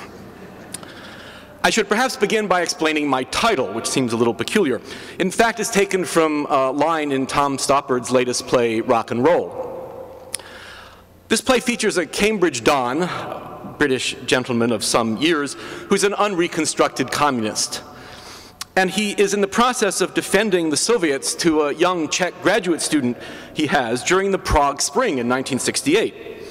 And when the somewhat confused young man attempts to defend the actions of the new uh, Czech government while attempting to maintain his fealty to the communist ideals, uh, the Cambridge Don thunders at him, You're not a heretic, you're a pagan. Well, from my first days in college in that same year, 1968, that's what I always feel like in discussions of free will a pagan. I basically don't get the point. I suppose this may have something to do with the fact that my philosophy of life is the examined life is not worth living. and you can verify that with my wife if you want, she'd uh, agree. But it must also have something to do with my scientific outlook on the world. The cosmologist Ted Harrison divides the broad history of human models for the universe into three main categories the anthropomorphic, the anthropocentric, and the anthropometric. The anthropomorphic universe is a universe of magic. It's a universe in which there is no division between the self and the external forces of nature. Some of this survives in our language. We speak of angry storms and gentle breezes as though these forces of nature were invested with the human emotions that we actually feel. This anthropomorphic view is what we imagine prehistory to have been like, although pockets of it, of course, still persist in places like Southern California and university English departments. The anthropocentric universe is the age of myth. Here we have created a pantheon of powerful gods who control these forces of nature, so we have an explanation for them. Uh, but of course, these gods are driven by human emotions and obsessed by human concerns. The anthropocentric universe is very fundamentally an Earth centered universe, and regretfully, I think it's the universe which most people occupy today. The anthropometric universe is not as Protagoras would have it that man is the measure of all things, uh, but that he can perhaps take their measure and from that gain some perspective on his place in the universe. This is a story that began when Copernicus removed the Earth from the center of the universe and has continued over the last 400 years developing what we call Western science. Clearly, I subscribe to the latter view that there exists an objective material universe consisting of space, time, matter, and energy, that we are fully, and I underscore fully, part of this materialistic universe, and that our brains, having evolved an adaptive capacity of considerable power in the service of the reproduction of our species, can in their spare time be put to work understanding this universe. But I think part of my difficulty with concepts such as free will, and religion for that matter, which I regard as falling within the same domain, lies in my definition of what the anthropometric mind is seeking to accomplish. I do not believe that science represents a quest for truth, that is, truth with a capital T. Mathematicians have designed, and I emphasize they have not discovered, but designed, a system of logic that can seek truth within that system. Mathematics has turned out to be extremely useful for modeling the physical universe, the thing in which I'm interested, and so is often envisioned as somehow wrapped up with science. But it is a fundamentally different pursuit. At this meeting in Arizona I just got back from, I got in a little dust up with Paul Davies, a winner of one of the first Templeton Prizes, when he repeatedly presented mathematics as something we have discovered and science as our quest to, quote, uncover the scheme, end quote, behind the layout of the universe. In my view, science is not about revelation. Science is about building models. It makes progress not by proving them true, but by falsifying them, replacing them with better models. Over the last 400 years, I would submit that science has a pretty good track record with that approach, with an ever increasing ambit and ever greater explanatory power. Now, philosophers, I am told, also seek truth, but I confess, having never gotten to the end of a philosophical treatise, I cannot confirm they have ever succeeded. If they did, I suppose it would lead to mass unemployment uh, amongst the philosophical community, so perhaps there's a powerful driver uh, behind keeping this subject alive for another few thousand years. Uh, to illustrate how deeply pagan I am and how divergent from the interests of the vast majority of this audience, who I presume are here because they're interested in probing deeply the concept of free will, I will confess that I cannot understand why philosophers dream up this stuff to worry about. I see it as largely an uninteresting byproduct of our impressive analytical abilities coupled with too much free time, sort of like, sort of like Sudoku puzzles. Now, having revealed myself as a genuine heathen, let me attempt to offer a modest contribution to the discussion of the next two days from my perspective as a physical scientist. Many of the speakers at this symposium, having been both more organized and more scholarly than I, have generously shared their remarks in advance with their fellow speakers, so I know something of what's coming in the next two days. It seems that determinism and quantum mechanical departures therefrom uh, form one of the major themes. And determinism in this context seems often to be associated with the assassination of John F. Kennedy. Now, I will eschew a pop psychological analysis of why 50-something academics harken back to this sharply remembered and unexpected feature of their youth in attempting to render absurd a deterministic model. Suffice it to say, the argument usually goes, determinism means that the assassination of President Kennedy was foreordained by the precise locations and velocities of all of the particles in the universe when the universe was only one second old. This would exculpate Lee Harvey Oswald for pulling the trigger. Since this is morally offensive, a deterministic universe is unacceptable. Now, it turns out that we do know a lot about the universe when it was only one second old. Indeed, we know a lot about the universe when it was only about a millionth of a second old. And next year, when the Large Hadron Collider in Switzerland, in Europe, is turned on, it will recreate the conditions of the universe as it was when it was only one trillionth of a second old. I must caution you that yesterday's New York Times article, notwithstanding the Large Hadron Collider will not produce a black hole that eats the Earth, because indeed, if these conditions produce such black holes, we wouldn't be here to discuss it, uh, because the universe would not have come into being, so not to worry. Now, when I say we know these conditions at these early times, I mean we know physically meaningful quantities, like the temperature of the universe, the ratio of the number of neutrinos to photons, the number of photons to the number of quarks, the fraction of quarks in each family, etc. But let me step back. Since this is not undoubtedly a philosophically attuned audience, I suppose I should be more careful with my words. We don't know these quantities. We have a model from which we can infer estimates of these quantities. That's what a scientist should say. Now, this model has been developed over the last 60 years or so based on our observations of the universe.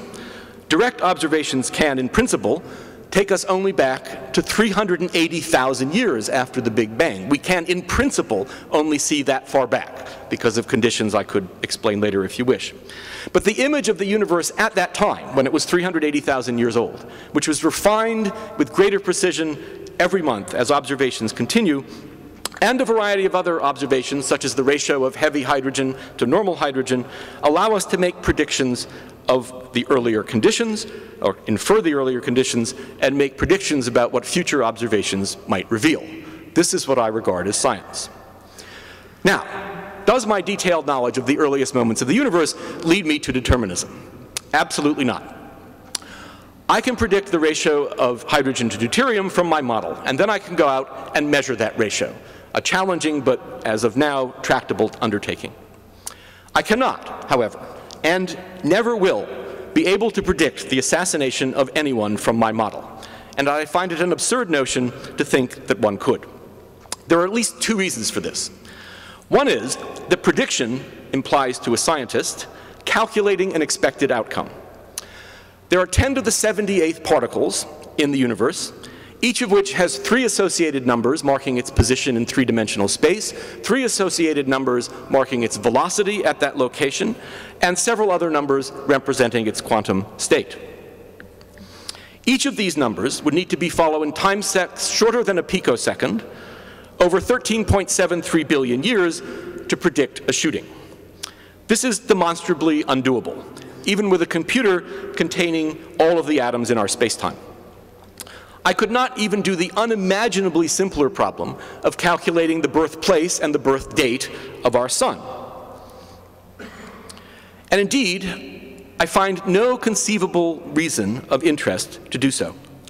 I can measure the age of the sun, I know how it works, I can predict the death of the sun to a fractional accuracy far better than I can predict the death of myself. But for me, there is no conceivable interest to calculate its birth from first principles. So for me, this practical impossibility renders, renders the question of determinism uninteresting. This lack of interest in unknowable things is probably explained by my earlier cited philosophy and also explains my irreligiousness. Now, the second reason I can't predict Kennedy's assassination, and it's an independent reason of the first, from the conditions shortly after the Big Bang, is the fundamentally probabilistic nature of matter at the atomic scale. Einstein's objections to God not playing craps uh, notwithstanding, quantum mechanics is the most precise physical model we have ever invented. And it mandates an inherent randomness in the behavior of subatomic particles that makes deterministic predictions at this level impossible. Given the conditions in the first millionth of a second of the universe, these indeterminate interactions were dominant.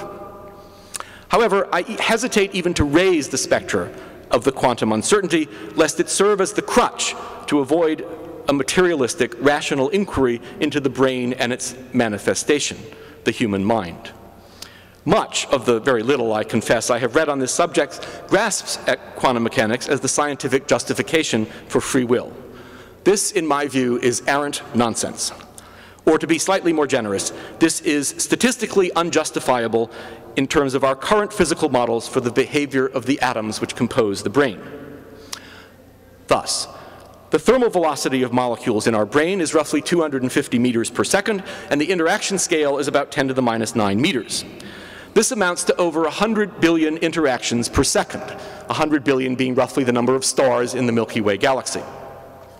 While any one such interaction has an associated quantum uncertainty, a molecule might come along and rather than bouncing off a molecule, pass right through it and appear through quantum tunneling on the other side, the statistical distribution of these interactions is perfectly well defined. Multiplying by the 100 billion molecules per neuron and the 100 billion neurons in the brain, there is no quantum mechanical uncertainty involved. You need not worry about all your brain molecules simultaneously tunneling through your skull and ending up in your lap. If that happens to anyone during this meeting, I want to know about it. Quantum mechanics, in my view, is irrelevant to discussions of free will. It did occur to me there was one statement a physicist could positively make about free will based on the models of reality we currently hold. Tachyons do not have free will. Tachyons are particles invented by my late colleague uh, Gary Feinberg in the physics department here, and their salient property is that they travel faster than the speed of light through empty space. Contrary to much popular science writing, the existence of such particles is not forbidden by relativity. The properties of faster than light travel, however, are well defined in that model. And it is not difficult to show that if anything does travel faster than the speed of light, one is required to accept the situation in which the window back there breaks before the kid who threw the tachyon rock through it was born. Now, for a tachyon, the past unfolds before it. So it is very difficult to see how a tachyon could have free will. However, since tachyons have never been discovered, one might well dismiss this as an academic point. In the metaphysical discussion of free will I have been reading recently, I've encountered terms such as robust responsibility and inherent morality. I find these terms disturbing, as I do all anti-materialist and anti-rational arguments about subjects such as free will and religion. Insisting on transcendent non-physical properties of humans divorces us from the tree of life and of our, to me, inspiring and deep connections with the rest of the cosmos. It seems to me to return to Harrison's Epochs of Human Understanding, and this is the essence of my cosmic view, we seek meaning, meaning, when we lack understanding. The anthropomorphic caveman view of the storm is that the wind is blowing because the air is angry, or of the anthropocentric pagan because the wind god decreed it, because the wind god is angry. But once we have a model of air molecules and atmospheric pressure gradients, we can abandon this anthropomorphic explanation of the wind. The wind has no metaphysical meaning. It is a natural phenomenon explicable in the context of widely applicable physical models for matter and energy, models that our brains have created. Once we have these predictive models, we no longer feel the need to imbue the wind with meaning. As I believe Dave Krantz will discuss tomorrow morning, our models for the human brain are considerably less well developed than the thermodynamics of air. It should perhaps not be surprising then that we seek meaning in the operation of the brain. Unsurprising, but worth, in my view, resisting.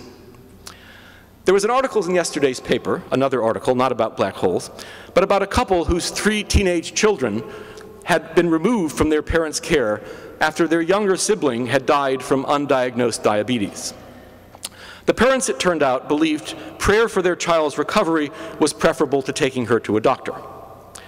2,000 years ago, this would have been a totally rational expectation, and given the state of medical knowledge at the time, probably equally efficacious. Today, we consider it criminal. Most people do not consider it acceptable for these parents to create their own reality in which mantras are preferable to medicine in caring for a child. In this instance, some would blame religious blindness, uh, although others find this a very difficult moral issue. For the latter group, I must ask you, what do you mean by moral? From whence does your moral model spring? It should be noted here that the postmodernist conceit of individually constructed realities is little different from the views of these parents. To give a more trivial example, I had a student some years ago who was having difficulty in my class and came to my office uh, for office hours for help. At the time, I was actually explaining the phases of the moon. Now, explaining the phases of the moon is sort of a hopeless task because most people come to a class with a model for why there are phases of the moon. It's because the Earth casts this varying shadow on the moon as the moon goes around. Well, that model is wrong, but nonetheless, most people cling to it even after having gotten an A in my class and answered correctly the questions about why the moon actually has phases. And so they recognize that for some brief moment of time they must suspend their deep belief in why the moon has phases and just to please me, go with my explanation. And so they try to understand this. After an hour of me holding my basketball and having the tennis ball go around and having the student be the sun, I finally asked the question, and so when is the waning crescent moon high in the sky? And she answered, to my delight, at 9 o'clock in the morning. But then she said, oh, but that can't be right. And I said, why is that? And she said, because the moon's not up in the daytime. And I said, oh, yeah, and the moon is sometimes up in the daytime. You might not notice it because the sky's brighter, but the moon is up in the daytime. And she said, no, the moon's not up in the daytime. And I said, well, look, tomorrow morning, actually, about 10 o'clock, come to my office, we'll find out the window, and I'll show you the moon in the daytime. And her response was, I don't have to. I know the moon is not up in the daytime. now you giggle or you gasp at that, but why?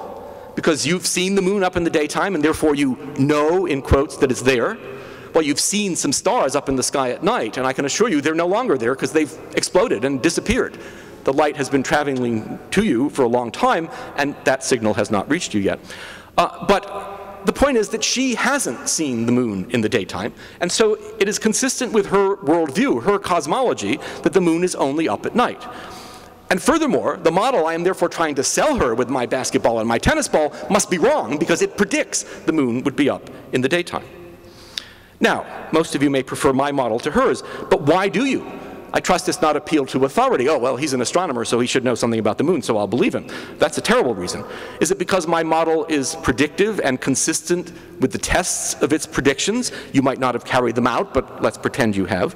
If so, that's good.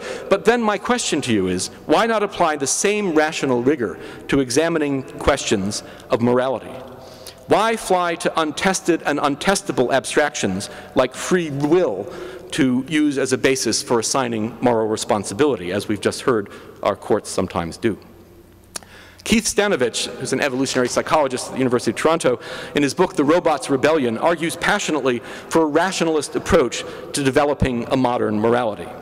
He demonstrates convincingly that the automatic neural circuits that have served our purposes extremely well over the last 135 years in reproducing our species are largely ill-suited for life in a technologically sophisticated modern world.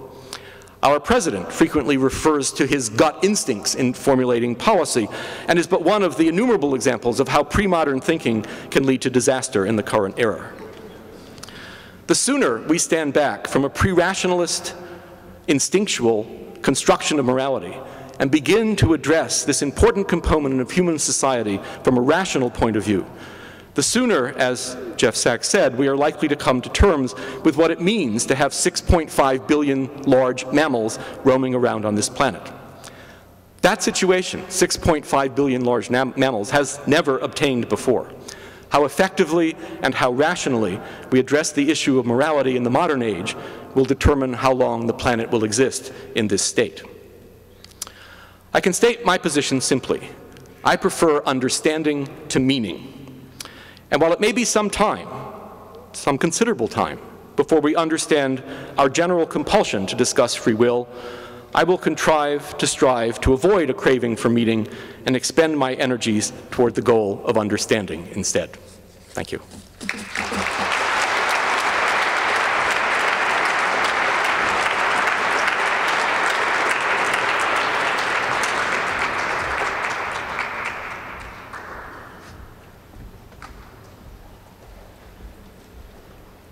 David, where are you? David, thank you. Thank you. Our third speaker is Paul Appelbaum.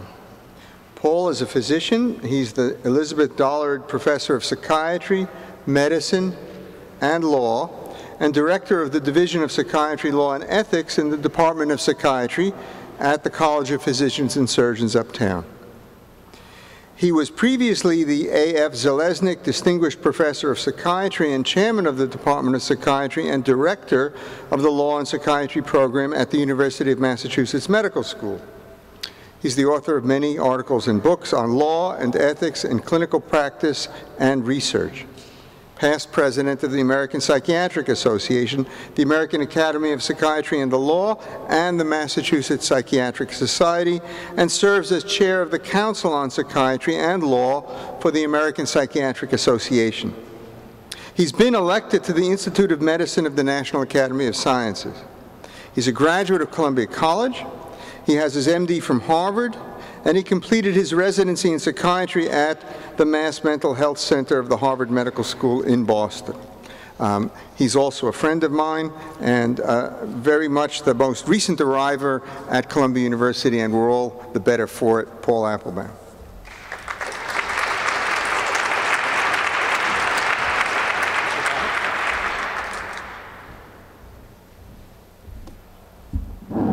As I get this up, I'm going to demur from one of the previous comments of, of one of my colleagues. That is, it is not in any way tenured professors who have to persuade you of the importance of what they do. It is our untenured colleagues who have to do that. We really don't give a damn what anybody thinks about uh, what we do. Um, I'm going to be talking with you about uh, behavioral genetics and their relationship uh, to free will. I begin with a uh, caveat, and although uh, given the circumstances here today, this seems almost unnecessary, which is that I am not a behavioral geneticist. Uh, I am a psychiatrist, and therefore I will be talking with you about uh, other people's uh, research here. However, I uh, have for many years uh, been interested in the application of scientific findings to the law and to ethics uh, more broadly, and I think you will see some interesting implications of these data, as you undoubtedly did with Darcy Kelly Kelly's uh, presentation of the neuroimaging data. And in many ways, the two run in parallel with similar uh, issues raised and, and similar uh, problems uh, created. So uh, I'm going to begin by reviewing with you some recent advances in behavioral uh, genetics that may help uh, in understanding uh, and predicting uh, a predisposition to violent behavior and other criminal behavior uh, on the part of uh, various people. And then I'm going to ask you to think along with me about the implications of these discoveries and similar discoveries that are almost certain to come uh, in the future for our uh, understandings of personal responsibility. So, as you undoubtedly uh, are aware, our religious traditions often root uh, the possibility of repentance in the principle of absolute free will. And uh, for many uh, religious uh, traditions, the notion of personal responsibility uh, for one's actions is uh, key. moreover, our criminal law tradition derived from English common law and elaborated here in this country since independence has a similar basis. We punish only people who we think are responsible uh, for what they've done, as uh, Darcy Kelly outlined briefly uh, for you. However, we presume that all people are responsible for what they've done, uh, barring persuasive evidence uh, to the contrary. And as an example of the uh, dependency of many religious ideas on uh, the notion of free will. This is an excerpt from Maimonides. You're going to hear more about him in one of the presentations uh, tomorrow. 12th uh, century uh, Jewish philosopher who wrote, Free will is bestowed on every human being. If one desires to turn toward the evil way and be wicked, he's at liberty to do so. And thus it's written in the Torah, Behold, the man is become as one of us, to know good and evil which means that the human species has become unique in the world, namely that man, of himself and by the exercise of his own intelligence and reason, knows what is good and what is evil. And there is none who can prevent him from doing that which is good or which is evil. Well, the challenge we're going to face here uh, today is how these new data that I'm going to talk with you about, as well as the neuroimaging and other neuroscience data you've heard about already, uh, impact these traditional understandings. Uh, whether uh, we should change those traditional notions, and if so, how we should change them, and what the consequences of changing our notions might be.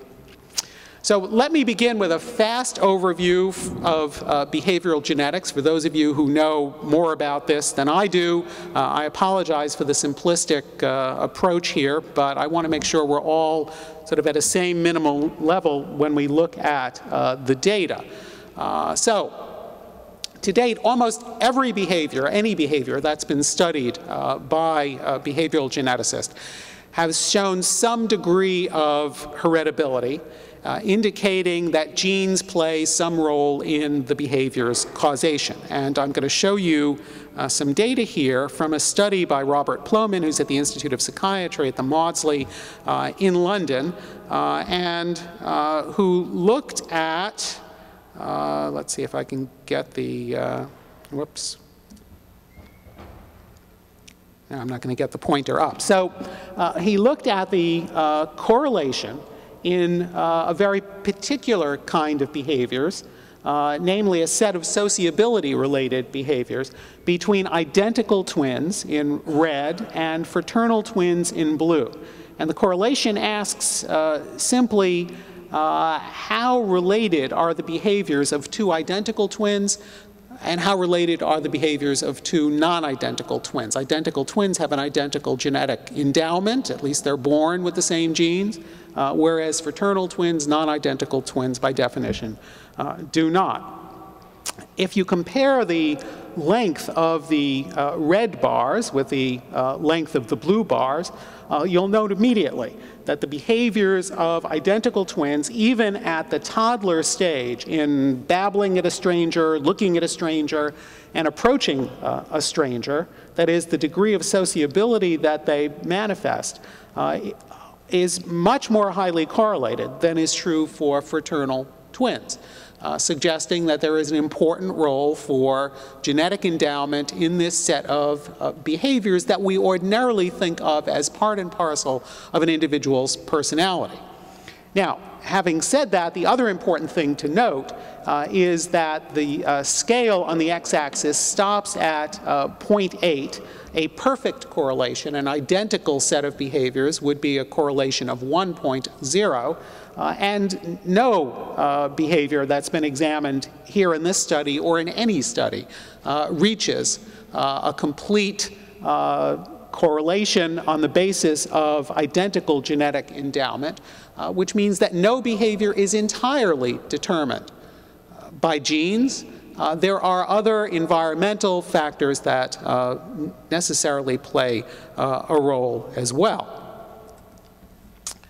Moreover, most behaviors that have been examined uh, are not influenced by a single gene, but are likely to be influenced by multiple genes, each of which contributes only a tiny piece to the variance of its expression or uh, absence. Uh, and geneticists refer to these behaviors as complex traits and assume that with multiple genes involved in uh, influencing whether they're present or not, there are simultaneously multiple molecular pathways uh, to get to that same uh, output or phenotype. Now, the key term in behavioral genetics today is gene environment uh, interactions. And the notion here is that since genetics doesn't do it all, and the environment doesn't do it all, that there must be some way they relate to each other. And how might that be? Well, the going hypothesis in uh, most cases is that a particular genetic endowment uh, gives an individual a heightened sensitivity uh, to be influenced by particular environmental occurrences. We'll see an example uh, in a moment. Uh, or alternately, a diminished uh, sensitivity to uh, environmental uh, influences. And the example I want to tell you about, because it, it plays some important role in, in the, uh, the story and the challenge that we face, is an example of the enzyme monoamine oxidase A, which is an enzyme in our brains and elsewhere in our bodies that breaks down neurotransmitters, those chemicals that carry impulses from one nerve cell uh, to the next and are responsible for triggering the action potentials uh, that you heard about uh, earlier.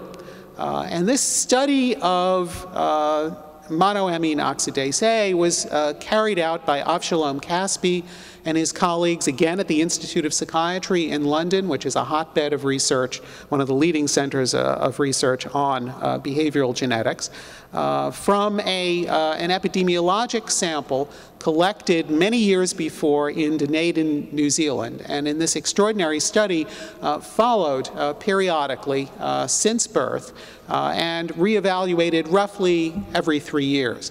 Now, the data uh, from the study I'm going to uh, tell you about comes from the 26 year follow up. There has since been a 29 year follow up, and those data are, as I understand it, on the verge of, uh, of being published as well as they relate to a, uh, a variety of issues. This has been a, an extraordinarily productive uh, research uh, project that Caspi and his colleagues took advantage of.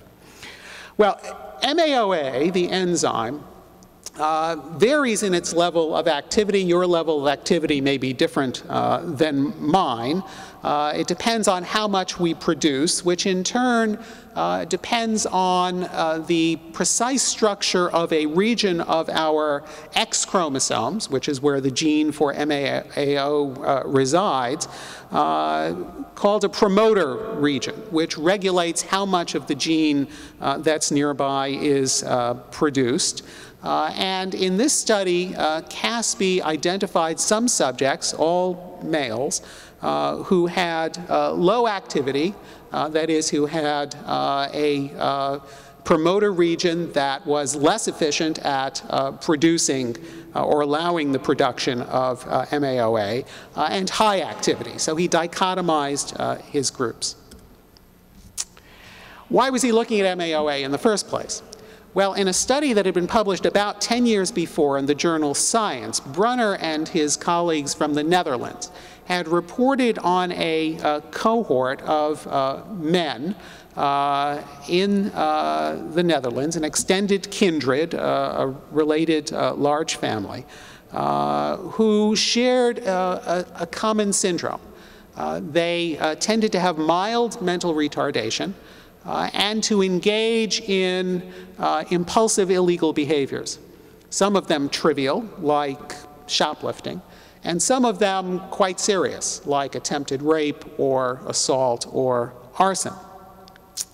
Uh, the genetic analysis of this uh, kindred revealed that the affected males all had uh, a defect in their MAOA gene, not in the promoter region, but in the gene itself, uh, that led to the production of inactive MAOA. So they had essentially no MAOA activity. Uh, and the hypothesis of Brenner, Brunner and his group uh, was that uh, MAOA, in some important respect, was involved in the regulation of impulsive behavior uh, and that it might not simply be a matter of presence or absence, but perhaps relative amounts of MAOA being present uh, in a given individual that might determine how impulsive that person uh, was. So that's what Caspi and his colleagues uh, looked at, but what they found surprised them uh, a little bit because low MAOA activity by itself was not associated with impulsive criminal uh, behavior, including uh, violence in this sample.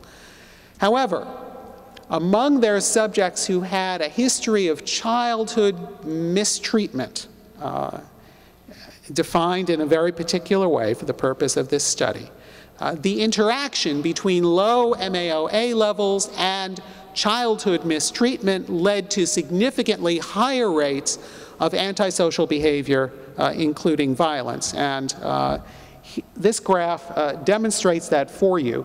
Uh, the dark line are the subjects with low MAOA activity. The light line is high MAOA activity. and on the x-axis, you can see childhood maltreatment, none probable, and uh, severe, as they defined it, uh, where there's no childhood maltreatment present, it doesn't matter what your MAOA activity level was, uh, you have uh, the same uh, risk on their index of antisocial behavior. And even when there's probable maltreatment present, there's no significant difference between the two groups. However, in the presence of severe childhood maltreatment, although it's true that both groups experience a significant increase in their rate of antisocial behavior, for the group characterized by the black line, that is, those with low MAOA activity, uh, there is a significant increment, a very large increment in the risk of antisocial uh, behavior. So there is an interaction between the environmental influence of being uh, abused or maltreated uh, as a child uh, and having low MAOA uh, activity levels that produces an effect not seen to that extent with either of those variables uh, alone. And so uh, when they looked at their numbers, what they found that was that although subjects with low MAOA and childhood uh, maltreatment. Although they comprised only 12% of the sample, accounted for fully 44% of the convictions for violent crime uh, in this group. And 85% of the subjects who met those two criteria developed some form of antisocial behavior on the four uh, indicator uh, variables that were used uh, in this study.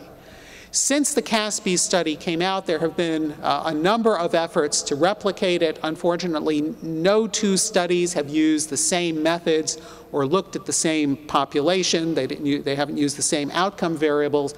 Uh, nonetheless, there have been several replications and a couple of failures uh, to replicate. A recent meta-analysis, however, suggests that this is a real finding. And whatever the future of this finding, I would ask you to assume for the purpose of our discussion here that this is a real finding, uh, because uh, if it isn't, it is uh, quite likely that some other genetic finding will in the very near future, and it's possible that one already has, uh, produce similar uh, kinds of uh, results.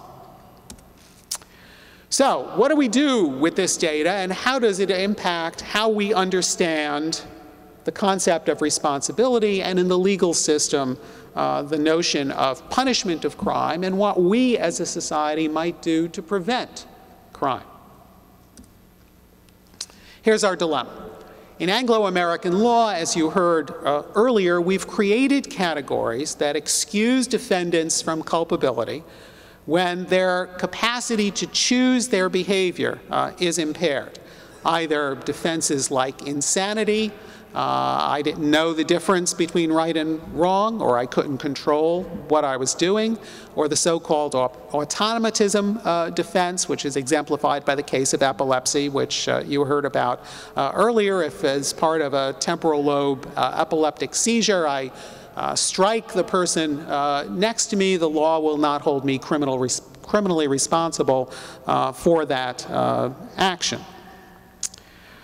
So, if mental disorders that impair appreciation of wrongfulness or ability to control uh, behavior, and there are still states in this country that, although the federal government has uh, has gotten rid of it in, in the federal insanity defense. There are still states in this country that uh, allow irresistible impulse, so-called volitional prong of the insanity defense, uh, to be uh, argued as a basis for exculpation. Uh, if, if they negate a defendant's culpability, well, why shouldn't genetic determinants of behavior uh, have the same effect? Indeed, why shouldn't low MAOA activity uh, serve as the basis to excuse uh, the criminal acts of uh, a defendant? Uh, sure enough, uh, even before the Caspi study, within several years of the Brunner report being published from the cohort in the Netherlands, a writer in a uh, law journal was already proposing a defense of genetic determinism. Uh, namely, that an actor would be excused for their criminal offense if, as a result of some sort of genetic predisposition, they either didn't perceive the physical nature or consequence of their conduct, that's pretty unlikely, uh, didn't know that their conduct was wrong or criminal, relatively unlikely, uh, or, and here's the key, was not sufficiently able to control their conduct so as to be held accountable for it. Now, this is not the first time that we've heard arguments about genetics introduced in the courtroom. In the 1970s, as some of you uh, may remember, uh, evidence uh, appeared uh, suggesting that men who had an extra Y chromosome, the so-called XYY syndrome, uh, were at increased risk for acts of violence. In a very simplistic paradigm, it was thought that men are more violent than women. Men have testosterone, women don't have very much testosterone. Uh, so testosterone uh, production is influenced by the Y chromosome. So a man who has two Y chromosomes is probably twice as likely, at least, to be violent as a man with only one Y chromosome, and that's not really his fault. That was sort of the, the basic paradigm uh, here. Uh, and on the basis of some early studies of prison populations, several defendants attempted to introduce evidence that they were XYY uh, to negate their culpability for their criminal acts.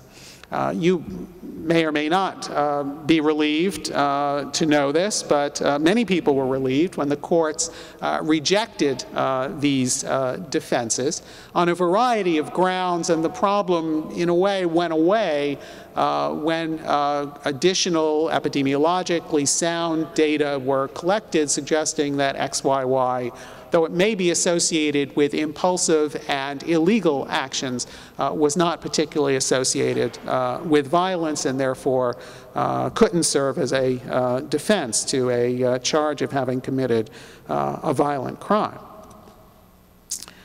And the response to XYY, uh, in fact, uh, reflects a much more deeply held view of the law one which I think many neuroscientists, to be frank, and uh, contemporary philosophers uh, fail to give sufficient credence to, uh, which is embodied in this uh, excerpt from, Chief, uh, from Justice Hugo Black's concurrence in a case called Robinson versus California, a case from the early 60s that dealt with uh, the question of whether uh, drug addiction uh, could be a crime, uh, or whether, since drug addiction was in some sense compelled behavior, it wasn't fair to hold a person uh, responsible for being a drug addict. Uh, in his concurrence, Justice Black wrote the following. Almost all of the traditional purposes of the criminal law can be significantly served by punishing the person who in fact committed the proscribed act without regard to whether his action was compelled by some elusive, irresponsible aspect of his personality. And in fact, this represents the approach that the courts have taken to the problem of multiple personality disorder, or what we now call dissociative identity disorder uh, in the courts. When defendants have attempted to introduce evidence and make the argument that, Your Honor, it's not really fair to hold me responsible for that criminal act because I wasn't the one who did that. It was one of my alters that was in control of my body that did it, and so why are you punishing me? To which the courts have essentially responded, although not exactly necessarily in these words uh, look, we don't care how many of you are in there, one of you did it, and the others ought to be more careful who they hang out with, and you're all going to be held responsible for it. The skepticism of the law about these kinds of uh, defenses uh, reflects a deeply embedded view of individuals as intentional actors. And although the law recognizes that behavior is uh, subject to causal influences such as genetic causes or uh, causes based on abnormalities of uh, brain uh, function. Uh, the law is uh, actually not unsophisticated in recognizing that it's not some behaviors that are caused, but all behaviors that are caused caused in the sense of being influenced, not just by our genes or our, the way our brains are wired, uh, but by the environments that we've been uh, subject to, the uh, friends we've had uh, over the years, the ways in which uh, we were raised, whether we were poor as children or uh, grew up in wealthy families. Uh, however, uh, the law has uh, continued to insist that the mere presence of causal influences doesn't negate an individual's ultimate responsibility to control their behavior. Uh, and only when these influences overwhelm rationality.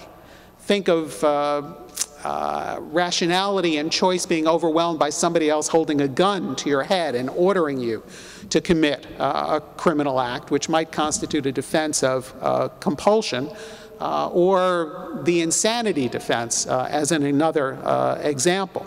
Uh, but only when they overwhelm rationality or your ability to control behavior will the law say that you are not truly responsible uh, for what you've done.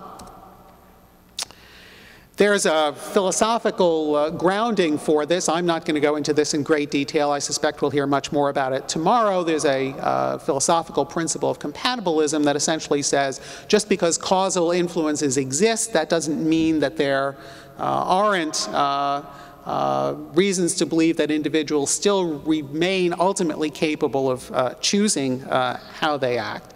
But perhaps even more importantly, it has a very strong consequentialist uh, justification here. Uh, that is, it has been the observation of lawmakers and lawgivers uh, over the uh, centuries and millennia uh, that the more incentives we give people to conform their behavior uh, to the law, the less likely they are to break the law.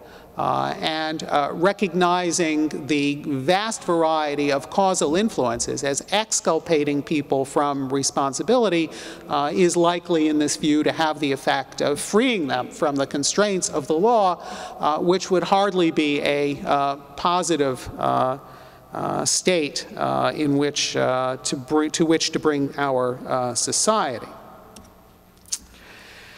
Now, this uh, genetic evidence that uh, is uh, lurking uh, out there uh, is um, going to face this set of uh, problems when people attempt to introduce it in court. The inherent skepticism of the law and, and a sense that genetic causes are not all that much different from any other cause and no cause uh, except in rare circumstances, uh, should exculpate behavior.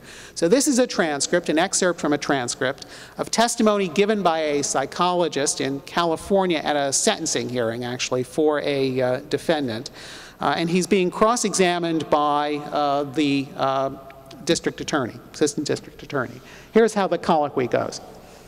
Are you saying that the defendant, because he has the MAOA gene and because in your opinion he suffered maltreatment, was unable to control his behavior, and that caused him to commit these three murders? Uh, no, I'm not. And in fact, the defendant could easily have made a choice as to whether or not he wanted to commit three murders, couldn't he? Uh, I, I don't know how easy or difficult his choices are.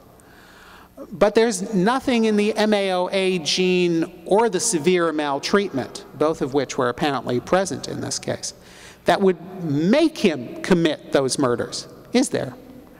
Uh, I don't know. Well, the expert in this case, at the very least, had the virtue of being honest uh, and recognizing what he couldn't say.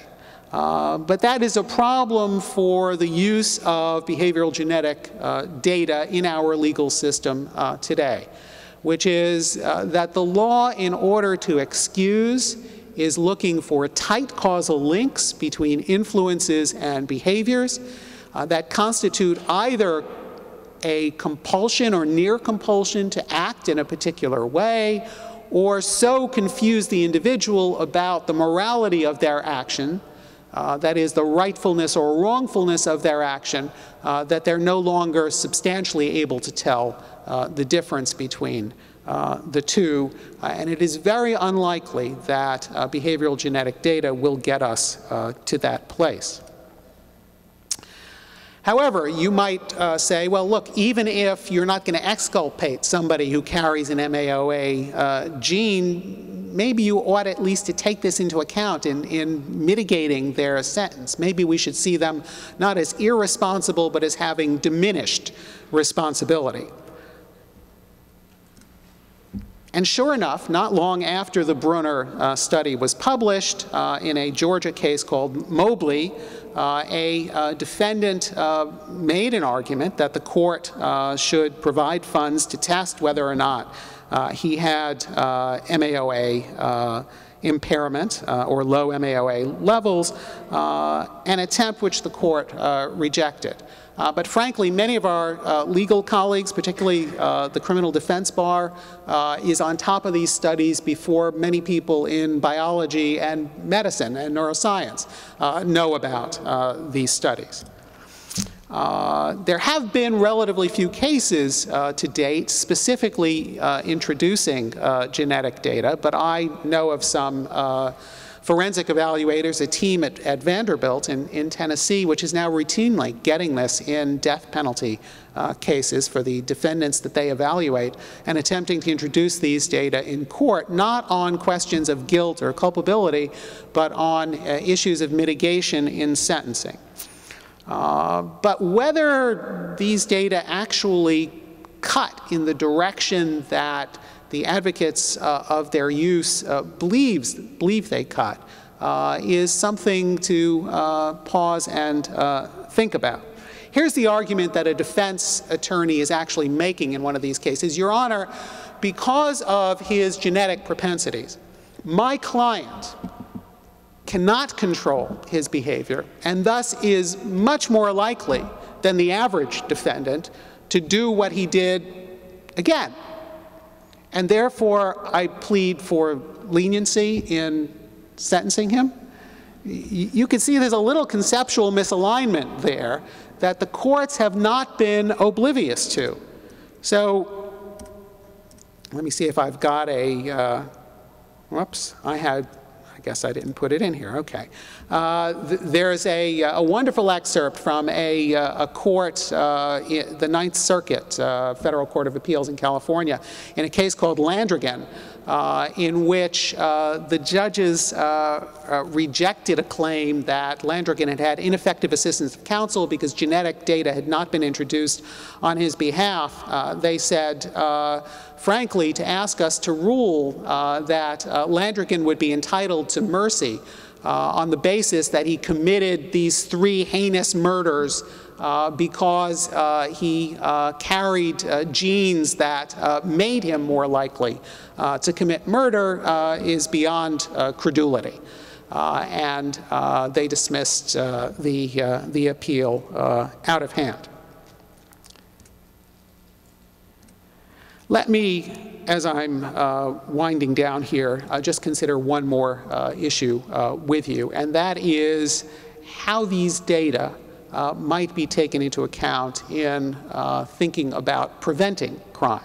After all, if we can identify a group at high risk for uh, violent and other criminal behaviors, which the Caspi and colleague data suggests uh, that we can, uh, are we entitled to use that information in any way to protect us, the, the uh, social uh, system, uh, from that behavior in a prospective way?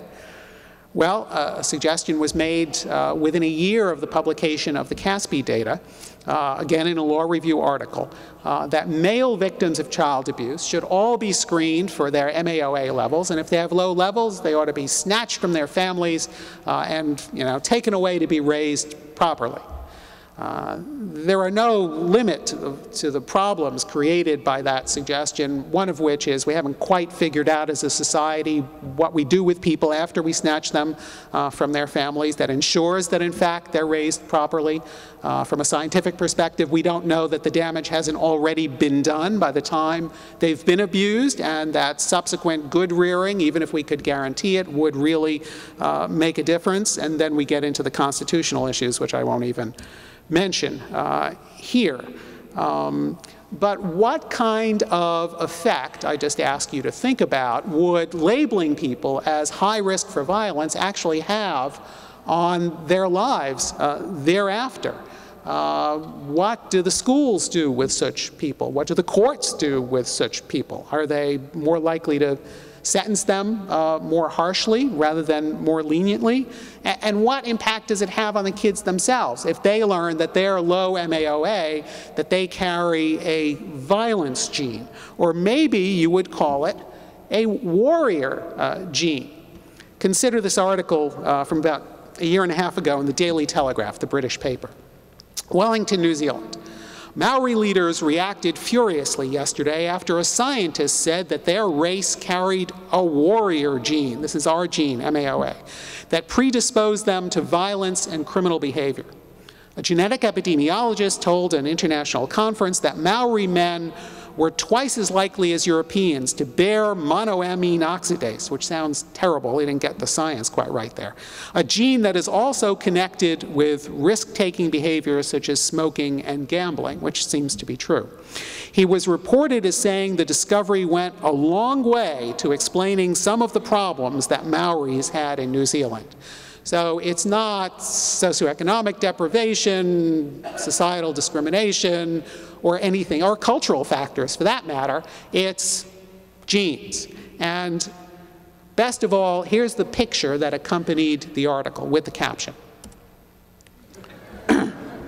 Now, you tell me that this is not a potentially enormously stigmatizing thing to know about individuals or, for that matter, uh, about groups. So, uh, let me um, get to my conclusions uh, here. Um, it seems to me inevitable that as with the neuroscience findings focused on uh, brain activation, the fMRI data that we were looking at and hearing about earlier, uh, our knowledge of the genetic roots of behavior, uh, including bad behavior, uh, is going to increase markedly, maybe exponentially, in the coming years we will be able uh, to identify genes and alleles that either by themselves or in combination with other influences put people at high risk for violence and uh, other crime. And our knowing this is going to raise many questions about how we respond to crime and prevent crime. I don't believe uh, barring some radical change in our legal system, which I do not think is uh, likely to be forthcoming. Uh, that genetic information is going to have a huge impact uh, on our rules for excusing criminal behavior, and I would say the same thing about uh, the fMRI uh, neuroimaging data. It may play a greater role in determining appropriate punishments, however, whether it's seen as an aggravating factor or a mitigating factor uh, is likely to depend heavily on whether there's anything we can do about it. So if someday I can give you a pill to compensate for your low MAOA levels, well, that's a pretty good reason for thinking about mitigation as long as we can be sure that you will in fact continue to take that pill. Uh, but if I can't, then uh, a society that uh, chooses to turn such people loose selectively uh, is a society that arguably is uh, asking for certain kinds of trouble. Moreover, this knowledge is going to give us the ability to screen for predispositions to crime uh, which could, if we use the ability, result in the creation of a stigmatized class of high-risk uh, people. But that pressure to, grow, to screen likely will grow if there's something we can do uh, about it. I will tell you that already on the internet today, uh, you can uh, order from home tests for a remarkable variety of genetic predispositions or presumed pre genetic predispositions. There's now a test out there which purports to tell you whether you have an increased risk for bipolar disorder, manic depressive uh, disease. Uh, and uh, there's a company that's talking about introducing uh, an MAOA test so that you could swab your kid's cheeks and discover whether little Johnny is going to grow up to be public enemy number one uh, or not. Uh, no doctors involved. It's direct from consumer to the uh, genetic testing uh, lab. Uh, this is the wave of the uh, genetic future. Um, I would suggest to you, however, uh, that these data don't compel us to abandon ideas of free will and personal responsibility, either religious notions or legal notions. Genetic predispositions influence behavior, they don't determine our behavior. Uh, To be sure, they may lead to some people having more trouble conforming to social norms uh, than others, but there's no evidence yet that it is beyond their powers to shape their own behaviors. Uh, And given the consequences, we probably ought to insist on pretty good evidence uh, that that's true before we back away from our uh, traditional approaches here. So thank you for your attention.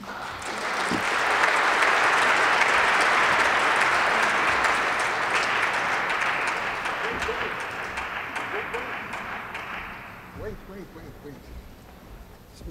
People forget.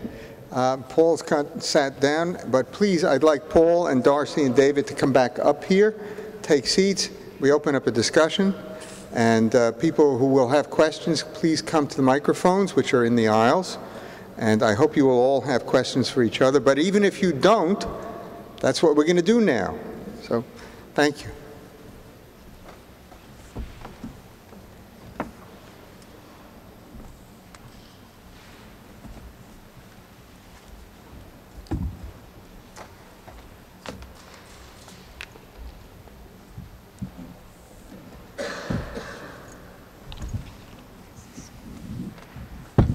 An aspect of someone's uh, life as a tenured professor, or even a professor who wishes not to be but is nevertheless thought often to be tenured, is that he or she is not used to being told what to say, nor even to answer a question.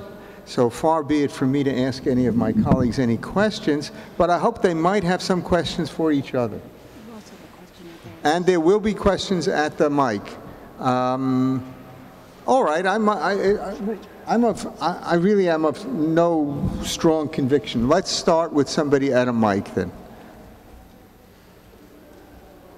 Wait, wait, let's get a mic that works before we start at a mic. Here comes our mic fixer.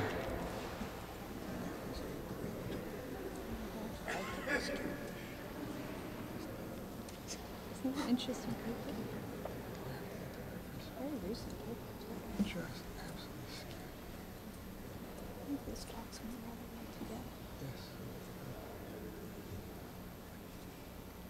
One, two. Okay, wow, that's a lot of reverb. I really enjoyed those presentations. I would like to ask two questions, and first I would like to ask Dr. Appelbaum. Uh, Today was the second time that I came across MAOA as a term. The first time was a couple of weeks ago when I was reading part of Essential Psychopharmacology and the new wave of antidepressants, which were MAOIs, uh, MAO inhibitors, and they distinguished between MAOA and MAOB inhibitors. Um, MAOB inhibitors were a little uh, better towards preventing hypertension, et cetera. But I'm wondering if there's any possible uh, utilization of antidepressants in ameliorating something like low MAO uh, activity. Unfortun- Unfortunately, the antidepressants that you're referring to are MAO, are MAO inhibitors. They're inhibitors, it's And not so reuptake if anything, they inhibitor. reduce MAO uh, activity. Uh, Now, you might ask, as a consequence of that, when we give MAOs, MAOs, MAOIs, the inhibitors, uh, to patients with depression or, or other uh, disorders for which they're used, do we see increased rates of impulsivity, violent behavior, uh, aggression, et cetera? Uh, And to my knowledge, that has never been looked at uh, systematically. Uh, Now, of course, uh, the data from Caspi et al. would suggest that there's only a subset uh, in which you'd expect to see such uh, a response, namely those who had uh, childhood maltreatment, but, but that would be an interesting thing to look at. But in any event, uh, that uh, unfortunately wouldn't be a great strategy for compensating uh, for uh, MAO-A deficits in uh, these populations. No, so the opposite, something that, okay. And for Dr. Kelly, um, Phineas T. Gage is, was his brain, so in a, uh, a consideration such as this, uh, would somebody with severe, uh, especially frontal lobe uh, damage, be culpable or not if they became violent? That's just all hypothetical. Well, you know, the law has many goals, and one of them is safety and containment. Uh, now, Gage himself was not a violent person, was never locked up, but he clearly suffered a big change in his, uh, in his approach to life. Um, it all boils down to what you think the law ought to do. If you think the law is retributive, that the goal of the law is to punish people who do bad things, then the issue of culpability is very important. If, on the other hand, you think that the goal of the law is to make the society safer, then your goals are somewhat different. Then you want to know is somebody doing bad things to such an extent that they can't help it? In which case, containment is the argument. You wouldn't care if they were guilty or not, you just would want to prevent them from hurting other people, unless you could treat them. And we have, by and large, abandoned the treatment, the rehabilitation ethic that we had for quite a while. And as we learn more about ways of preventing behavior that is difficult for the society to manage, we'll want to think more and more about treatment. Right at the moment, we're not thinking about it a lot. Oh, thank you. We'll take it, alternate mics. Marie Fricognon, Philosophy, William Paterson University. I have a question for uh, Professor Helfand. I'm a little frightened about addressing this question with you because I know what you think about the philosophical question of free will, but I'm going to ask you anyway. Um, it seems to me there's two possibilities. Either time is real or time is unreal if in, a, in the ordinary sense of the passage of time, if time is real, then at any moment of time, in terms of a cross section of the universe, you have interrelated conditions that are sufficient to produce the next moment in a causal sense. Or if there's randomness, then we have to consider that too. But in either case, if the causes occur, then the result will occur, and then I'm determined. Or if it's random, it's like me turning randomly into a rabbit right now. It's not something that I can help. On the other hand, if there's no time, if in some sense of relativity, thinking maybe of Kurt Gödel's solutions to some of Einstein's field equations, supposing there is a sense in which we don't have the ordinary passage of time, then um, everything is as it is from forever, from all eternity, or for no eternity, because you can't even use a temporal notion. So then I'm asking you and the other members of the panel if this is if, if I've said it out properly, um, where do you find the space for freedom? I give up. the, the notion, I, I, always start my classes on relativity with asking the student to define time without using time in the definition. Right? It's a somewhat difficult thing to do. Um, I, I, like Ted Harrison's view on this also. He, he defines it as a wave of vividity. So, you know, you have a very vivid notion of what you were just doing at the microphone. You don't maybe remember what you were doing last Tuesday very well. And when you were three years old, you don't remember anything at all. Um, but that's a human-centered version of time. We, we think we have an objective notion of time, or rather of space-time, uh, in Einstein's relativity, the normal solutions of Einstein's relativity. And we, it, it, but it does not mean that time is an absolute quantity. In fact, the point of relativity is that time is relative and its passage is relative uh, regarding the motion of the observers uh, and, and the sources. So I guess I'm at a loss as to the notion of how that connects to freedom.